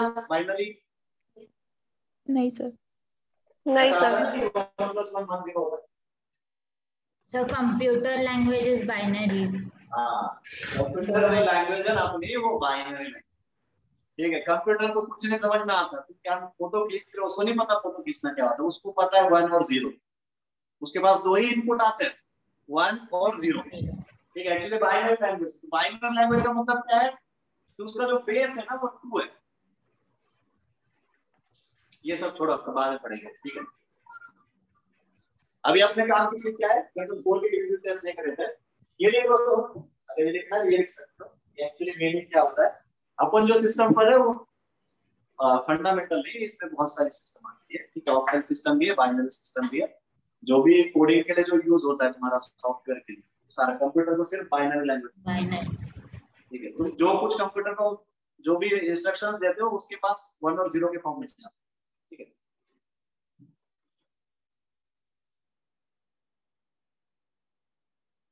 हाँ तो फोर का डिजिट समझ में आया? Last two digits number form by last digit number form by last two digits is divisible by 4 is divisible by अच्छा 5 के लिए क्या है?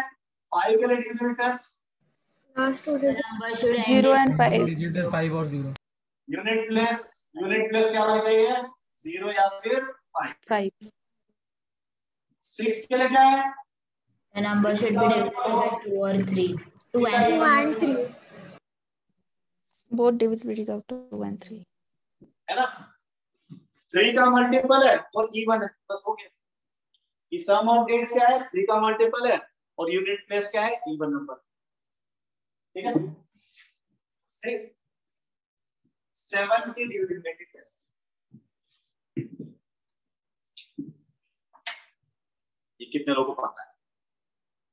ये बहुत ट्रेंडिंग टॉपिक है। सेवन की डिविजिबिलिटी टेस्ट लास्ट नंबर को डबल करके पूरे नंबर में से माइनस हाँ लास्ट नंबर को डबल करके बचे हुए से सब्ट्रैक्ट ठीक है? ऐसे करते जाओ कब तक? जब तक तुम दो डिजिट तक नहीं पहुँचते। ठीक है? और मतलब दो तीन भी चल जाएगा। ठीक है? वो जो सेवन का मल्टीपल बनेगा तभी जाके नंबर क्या होगा? सेवन का मल्टीपल एक्चुअली ये एक चौदह साल के बच्चे ने डिफाइन किया। तो शायद वो भी अभी इलेवंथ में पढ़ रहा होगा उसने 2019 में इस चीज़ को डिफाइन किया।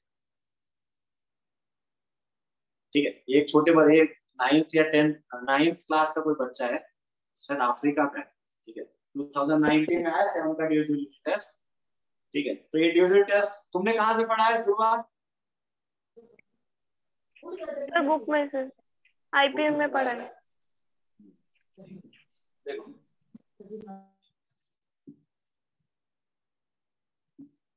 सेवन का डिविजिबिलिटी टेस्ट एक्चुअली पहले भी सेवन के यूनिट प्लेस में हम करते क्या है जैसे कोई नंबर लिख रहे हो तुम one two five seven three मुझे नहीं पता है सेवन का मल्टीपल है कि नहीं। करते क्या अपन इसमें कि लास्ट जो यूनिट प्लेस है यूनिट प्लेस को हटा लो ठीक है?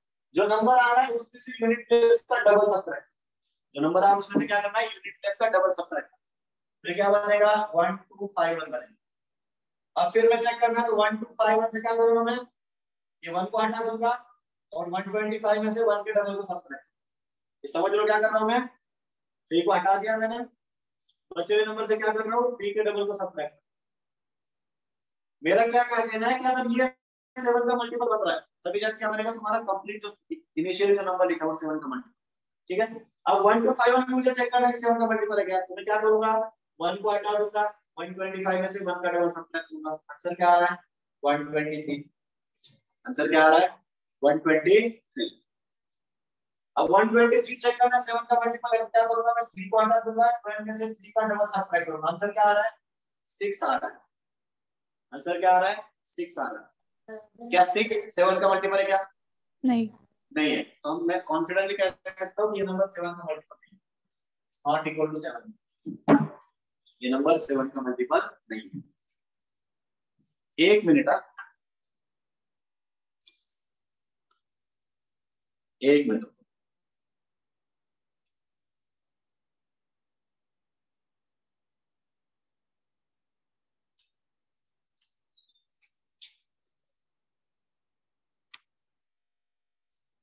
मान लो अपने पास नंबर है three nine seven sixty seven thirty nine thousand seven sixty seven ठीक है?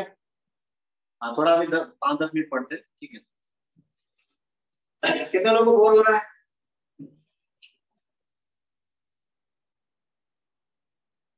वही ना, बिल्ली के गले सर, बोर नहीं हो रहा है पाँच दस मिनट पढ़ेंगे, फिर उसके बाद अपन कल मिलेंगे एक नंबर है अपने पास thirty nine thousand seven hundred sixty seven हमें चेक करना है कि सेवन का मल्टीपल है कि ठीक है? सेवन के डिजिट तुम समझ गए क्या करना है? यूनिट प्लस को निकाल लो, बचे हुए नंबर से उसका डबल सकता है। फिर मान लो कोई बड़ा नंबर आ रहा है, फिर यूनिट प्लस को उठा लो, बचे नंबर से डबल सकता है। ऐसे करते जाना है लास्ट में तुम्हें single digit double digit number बचेगा सेवन का मल्टीपल होगा। हाँ इट इज़ डिविजिबल सही है। सही बोल रहे हैं ये जो नंबर आ रहा है कैसा है? सेवन से डिविजिबल थर्टी फाइव आता है लास्ट में। थर्टी फाइव तो देख रहे हैं सिंपल हमारे पास है से सब्ट्रैक्ट करना लास्ट का सेवन में उठा। लास्ट के सेवन को उठा लिया उसके डबल को किससे सब्ट्रैक्ट किया? बचे हुए तो क्या आ रहा तुम्हारा? थ्री नाइन सिक्स टू अब थ्री नाइन सिक्स टू से क्या करूँगा मैं? थ्री नाइन के सिक्स में से उनका डबल सब्ट्रैक्ट करूँगा। थ्री नाइन के सिक्स से क्या करूँगा इस टेस्ट का डबल सब्ट्रैक्ट करूँगा मुझे क्या मिलेगा यहाँ पे? थ्री नाइनटी टू अब थ्री नाइनटी टू सेवन का मल्टीपल कैसे चेक करूँगा थर्टी नाइन में से यूनिट टेस्ट का डबल सब्ट्रैक्ट इस नंबर में क्या करूँगा? यूनिट प्लस को हटा दूँगा। बचे हुए से क्या करूँगा उसका डबल सब्ट्रैक्ट आंसर क्या आ रहा है? 35 35 7 का मल्टीपल है तो ये नंबर भी क्या है? 7 का मल्टीपल चेक कर सकते डिवाइड करोगे तो मुझे दिख जाएगा। कि हाँ? इसको 7 से डिवाइड मुझे इंटीजर मिल रहा तो एक्चुअली इसको वर्ड्स में कैसे लिखना मुझे नहीं पता ठीक है? तो तुम्हें जैसे समझ में आ रहा तुम लिखो ठीक है? Subtract uh, twice the last digit. हाँ, तो मैं क्या कर रहा हूँ ना अपनी एनर्जी को ना ऐसे इंग्लिश में लिखने में ज़्यादा ठीक है?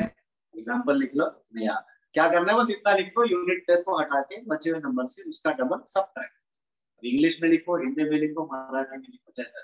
ठीक है? देखो एक्चुअली हम लोग लैंग्वेज बैरियर इसलिए हटा देते हैं क्योंकि अपन को एग्ज़ाम में ना सिर्फ़ ऑप्शन को क्लिक करना है, अपन को कुछ लिखना नहीं है। ठीक है? एक थोड़ा जेई के प्रिपरेशन में एक थोड़ा डिसएडवांटेज है कि बहुत सारे बच्चों की जो जो जिनकी इंग्लिश बहुत अच्छी होती है, थोड़ा ये दो साल में थोड़ा वीक हो जाता है। ठीक है? आईआईटी में जब हम लोग मिलते हैं ना दोस्तों से मतलब जब आईआईटी में लोग जब आते हैं तो फ़र्स्ट ईयर से लेकर फ़र्स्ट ईयर में आते तो वही बोलते हैं, जो भी कोटा में पढ़ता है, जो भी जेई अच्छे क्लास में पढ़ता है, जहाँ पे आई आई पढ़ा है। कहीं के रहते हैं कि आप टेंथ तक इंग्लिश बहुत तगड़ी थी इलेवन ट्वेल्थ में थोड़ा इंग्लिश का यूज़ कम हो गया। बट कोई नहीं हो तुम अपने हिसाब से मैनेज कर सकते हो, ठीक है? तो सेवन के डिविजन में क्या है लास्ट यूनिट प्लस को हटा के बचे से उसको डबल को सब्ट्रैक्ट यूनिट प्लस के डबल को सब्ट्रैक्ट करते जाओ, ठीक है?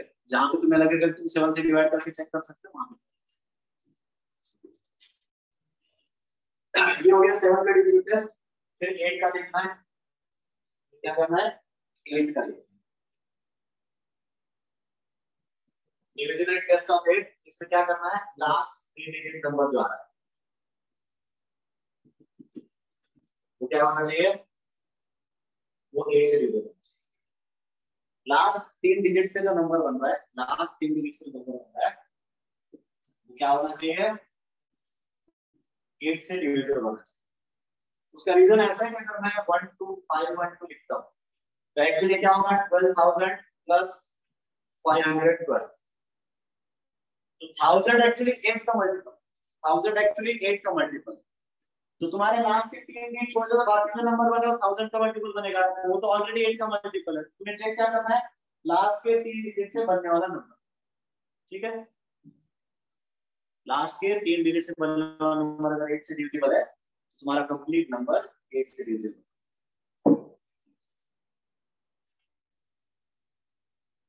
क्लियर है? इसमें भी एक ट्रिक है। कि अगर लास्ट के तीन डिजिट है लास्ट तीन डिजिट अगर मान लो तुम्हारी ये लास्ट थ्री डिजिट्स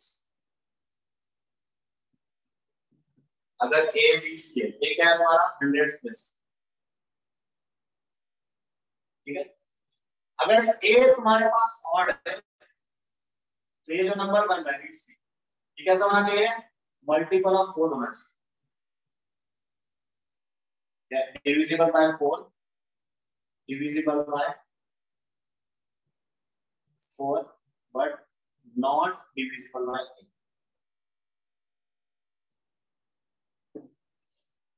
एक पहला चीज़ ये देख लो अगर डायरेक्ट में पता करना है ना कि कैसे कर सकते हैं उसके लिए करें। अगर तुम्हारा हंड्रेड प्लस ऑड है। हंड्रेड प्लस ऑड है तो लास्ट टू डिजिट वाला नंबर कैसा होना चाहिए? फोर से डिविजिबल हो बट एट से डिविजिबल ना सर बीसी मतलब multiplication of the two digits हाँ ये ये ऐसे देखो ये तुम्हारा ए है तुम्हारा बीसी क्या आ रहा है? ट्वेल्व मतलब ये लास्ट के दो दो डिजिट क्यों आ रहा है not two not two into one. हाँ टू इंटू वन नहीं twelve two into one multiplication नहीं है बस नंबर जैसे लिखते वैसे। तो जैसे यहाँ पे देखो ये फाइव ऑड है ना तो ये कैसा होना चाहिए?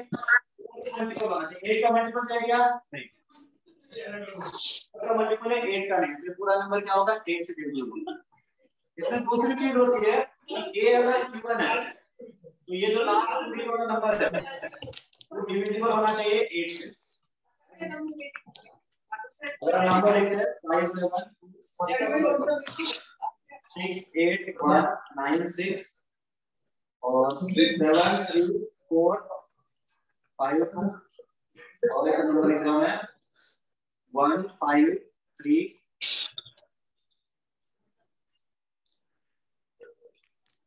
three six तो जैसे ये नंबर एट से डिविजिबल है बताओ इसमें कौन से कौन से नंबर एट से डिविजिबल है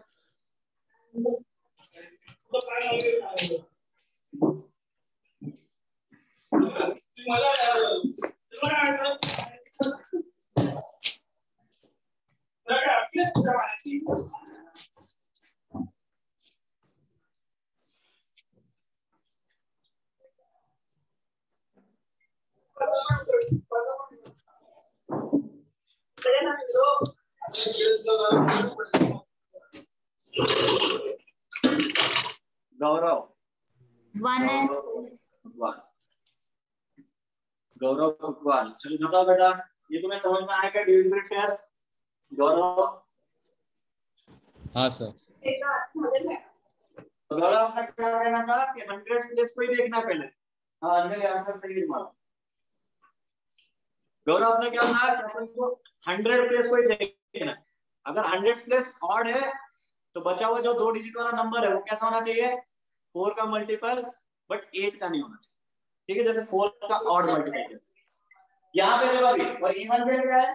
तुम्हारा जो लास्ट डिजिट वाला नंबर क्या है 8 से तो फ़र्स्ट नंबर में अपना क्या है 2 है मतलब इवन है 100 प्लस क्या है इवन है तो लास्ट दो डिजिट का हमारा 64 अगर इवन है तो last two digit divisible by 8 है इवन भी है और लास्ट दो डिजिट वाला नंबर क्या तुम्हारा 8 का मल्टीपल भी है तो ये कंप्लीट नंबर क्या होगा 8 से डिविजिबल यहाँ पे देखो ऑड है हंड्रेड प्लेस ऑड है हंड्रेड प्लेस अगर ऑड है तो लास्ट दो डिजिट नंबर 8 से डिविजिबल नहीं होना बट यहाँ पे हंड्रेड प्लस और होते हुए भी लास्ट का दो डिजिट क्या है? एट से डिविजिबल है। तो ये कंप्लीट नंबर एट से डिविजिबल हो सकता है क्या? नहीं। फिर यहाँ पे इवन है। बट फिफ्टी टू एट से डिविजिबल है क्या? नहीं। अगर हंड्रेड प्लस इवन है तो लास्ट दो डिजिट एट से डिविजिबल होना चाहिए। बट ये फिफ्टी टू एट से डिविजिबल है क्या? नहीं है। और फिर यहाँ पे देखो, ये ऑड हंड्रेड प्लस ऑड और लास्ट का जो दो डिजिट है, वो एट से डिविजिबल नहीं है बट फोर से डिविजिबल ये क्या होगा? एट का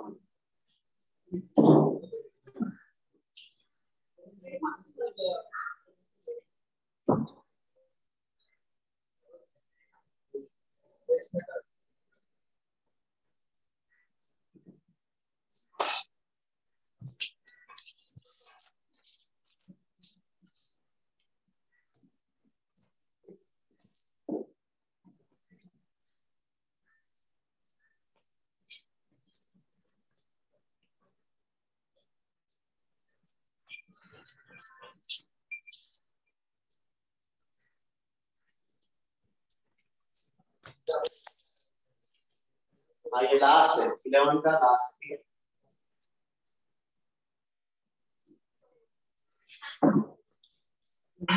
नाइन की टेस्ट सबसे इजी है। थ्री जैसा इसका भी। इसमें क्या है? नाइन की टेस्ट क्या है? Sum of all digits sum of all digits अगर नाइन का मल्टीपल है तो वो नंबर क्या होगा? नाइन से डिविजिबल होगा। लास्ट डिविजिबिलिटी टेस्ट अपनी इलेवन की। इलेवन की डिविजिबिलिटी टेस्ट क्या होती है? कि तुम्हें क्या करना है? अल्टरनेट डिजिट्स को ऐड करना क्या करना है तुम्हें? अल्टरनेट डिजिट्स को ऐड करना है। मुझे a1 plus a2 plus a3 plus so on जितने पता नहीं नंबर कितने डिजिट का होगा। ठीक है? उसको ऐड करना है। उससे सबट्रैक्ट करना है। बाकी जो बचे हुए अल्टरनेट डिजिट है। जैसे b1 plus b2 plus b3 plus so on अगर ये difference if this difference is equal to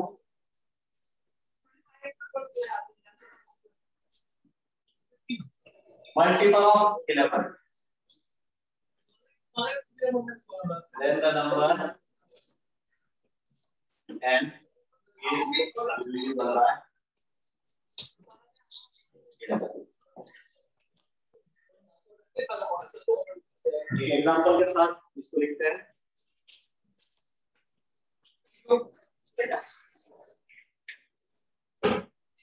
कोई नंबर मान लो अपने पास? ठीक है? हमें चेक करना है कि इलेवन से डिविजिबल है क्या? तो हम क्या करेंगे? सिंपल अल्टरनेट डिजिट्स को ऐड करना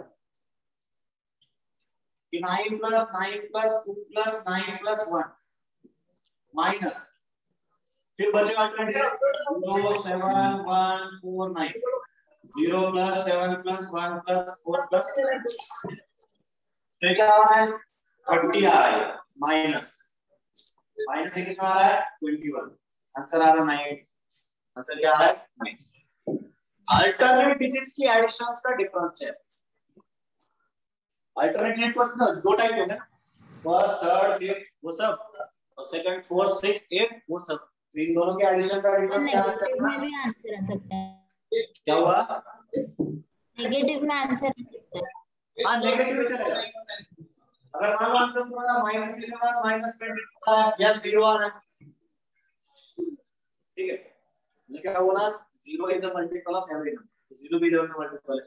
तो आंसर हो सकता है तुम्हारा ज़ीरो हो नेगेटिव में आ जाए या फिर पॉजिटिव में आए इलेवन थर्टी थ्री ठीक है? तो नंबर क्या होगा? इलेवन से डिविजिबल होगा। ये याद रखना ये भी तुम्हें पीएस में आ सकता ठीक है। जो थ्री का मैंने बोला ना थ्री और नाइन का थ्री और नाइन का मेंस जैसे क्वेश्चन में आता है जेई मेन लेवल के क्वेश्चन में बट ये अपना जो इलेवन का डिजिट है तो तुम्हें आ कैमरा रहा शुरू कैमरा शुरू जैसे भाई चल तो तो इतनी 11 डिविजिबिलिटी हाँ। टेस्ट है अपने पास जो हमने काम की ठीक है? सर इलेवन और नाइन का इम्पोर्टेंट है. इलेवन और नाइन का? इम्पोर्टेंट है. हाँ इम्पोर्टेंट तुम्हारा देखो एक्चुअली क्या होता है ना पीएनसी में तुम्हें नंबर्स बनाने होते हैं कि number multiple of three number multiple of nine number multiple of eleven तो डिवीज़न टेस्ट ये सब काम आएँगे. थर्टीन का तो वैसे भी तुम्हें चेक ही करना पड़ेगा. थर्टीन हो गया तुम्हारा फिफ्टीन सेवनटीन हो गया ठीक है? तो ये काम किया थ्री नाइन इलेवन ये ज़्यादा काम ठीक है?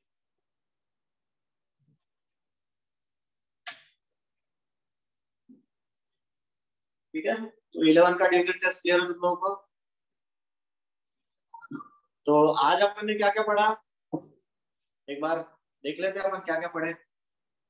सबसे पहले अपन ने नंबर सिस्टम पढ़ लिया natural number whole number integers positive integer negative integer ठीक है? उसके बाद अपन ने पढ़ा rational number irrational number imaginary number all real number complex number ठीक है? नोटेशंस याद रखना, ठीक है? ये जो नोटेशंस आपके पास कैपिटल एम डब्ल्यू आई या फिर जेड फिर तुम्हारा capital R R plus R minus ठीक है? नॉन पॉजिटिव नंबर मतलब क्या होता है? Non positive number non positive number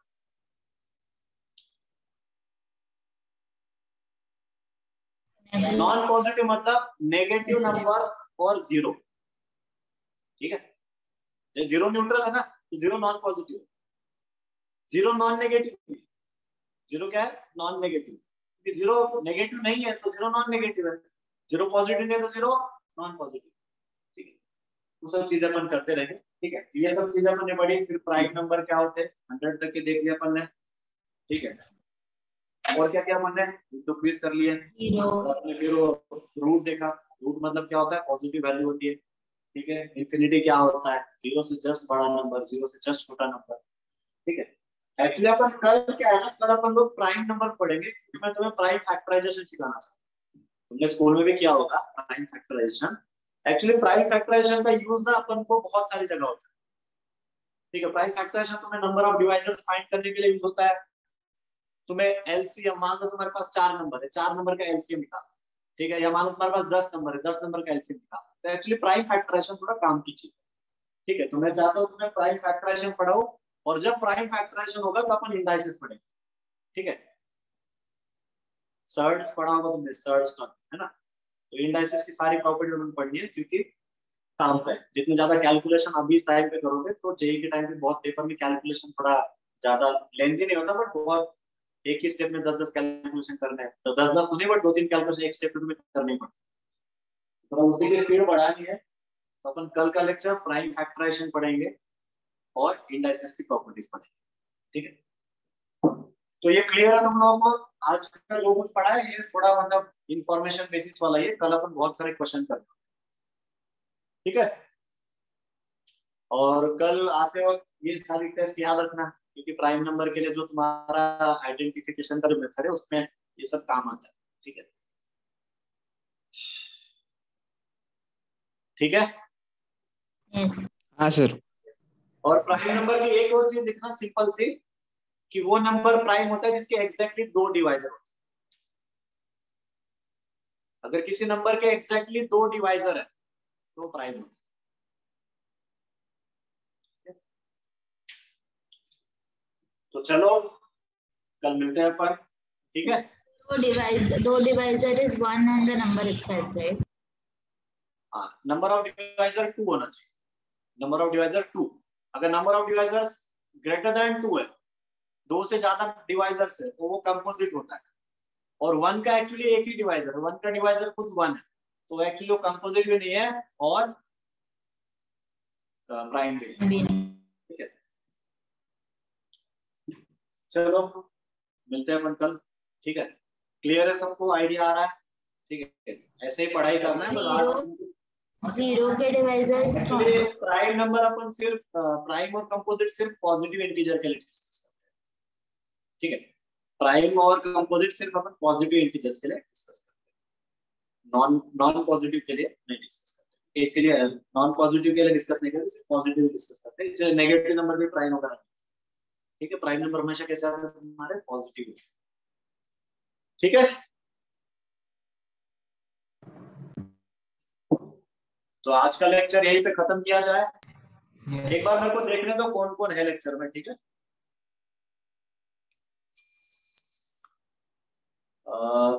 अद्वैन Patil Amitabh Anjali फिरके अंजलि मोरे आर्य देशपांडे अथर्व टिचोलकर दुर्वा गौरव कार्तिका कुणाल मैत्रे रेवती शुभम सिद्धार्थ सूर्यांश, वत्सल। अच्छा कुछ कुछ लोग ऐसे जो एडमिशन जिनके कंफर्म में आए भी नहीं गए कुछ कुछ लोग शायद एक एक का सब लोग है क्या? चारों है क्या अपने पहले स्टार्टिंग वाले। गौरव, उसके बाद कुणाल सर्वेश और और एक कौन था? प्रत्युष। और कौन तुम्हारे साथ? फिर अथर्व है, मैत्रेय। अपने सिंघाने वाले कौन कौन है? कार्तिका अंजलि और और कौन है सिंघानिया वाला? हाँ मतलब आज तक के तुम सिंघानिया ये सब क्यों? आज से तुम विराज के हो गए ठीक है। हाँ और देखो टेंथ का एग्ज़ाम मेरे हिसाब से मतलब होना चाहिए क्योंकि तुम लोगों ने मेहनत की है बट अब नहीं हो रहा है तो इससे कुछ मतलब एक ही चीज़ है कि हमें थोड़ा मोटिवेशन मिलता है। तुम लोगों ने इतना पिछले एक साल से मेहनत कर रहे हो एग्ज़ाम आता है, एग्ज़ाम के बाद तुम्हारे परसेंटेज बनते हैं नाइनटी नाइनटी फाइव जो भी तुमने पढ़ाई की उस हिसाब से। तो एक थोड़ा लगता है कि हाँ अपन एफर्ट्स लगाए, कुछ आउटपुट मिला है। कितने लोग दुखी है? सीबीएसई वाले लोग कितने दुखी है कि सर, बहुत मेहनत की थी, क्या बताया आईसीएसई वाले भी कंफ्यूज है ना, कि सर, कुछ पता ही नहीं अभी। क्या अंजलि, क्या आईसीएसई का सीन सर, उन लोग ने बोला है कि तुम लोग को देना है तो दो, नहीं देना है तो मत दो। पर आ, हम लोग की प्रिंसिपल ने कुछ बोला नहीं अभी तक तो पता चलेगा क्या है। ठीक है। और एसएससी वालों को तो अभी पोस्टपोन किया तो कुछ पता ही नहीं चला करना क्या। आ, वो एक्चुअली बहुत सारे मान के भी चल रहे हैं कि सीबीएसई नहीं करा पा रहा तो एसएससी बोर्ड तो नहीं कराएगा। हो भी सकता ना हो क्योंकि महाराष्ट्र का हॉटस्पॉट है। अभी के टाइम पे एग्ज़ाम मेरे को नहीं लग रहा नहीं होंगे बट कोई दिक्कत नहीं है। पढ़ाई की है तुम लोगों ने तो तुम्हें अभी उसका फ़ायदा होगा आने वाले दो साल में। ऐसा नहीं कि टेंथ में पढ़ाई की तो उसका कुछ फ़ायदा नहीं होगा। ठीक है? हर पढ़ाई का फ़ायदा होगा कहीं ना कहीं काम आता है। ठीक है? चलो फिर, मिलते हैं कल अपन। ठीक है?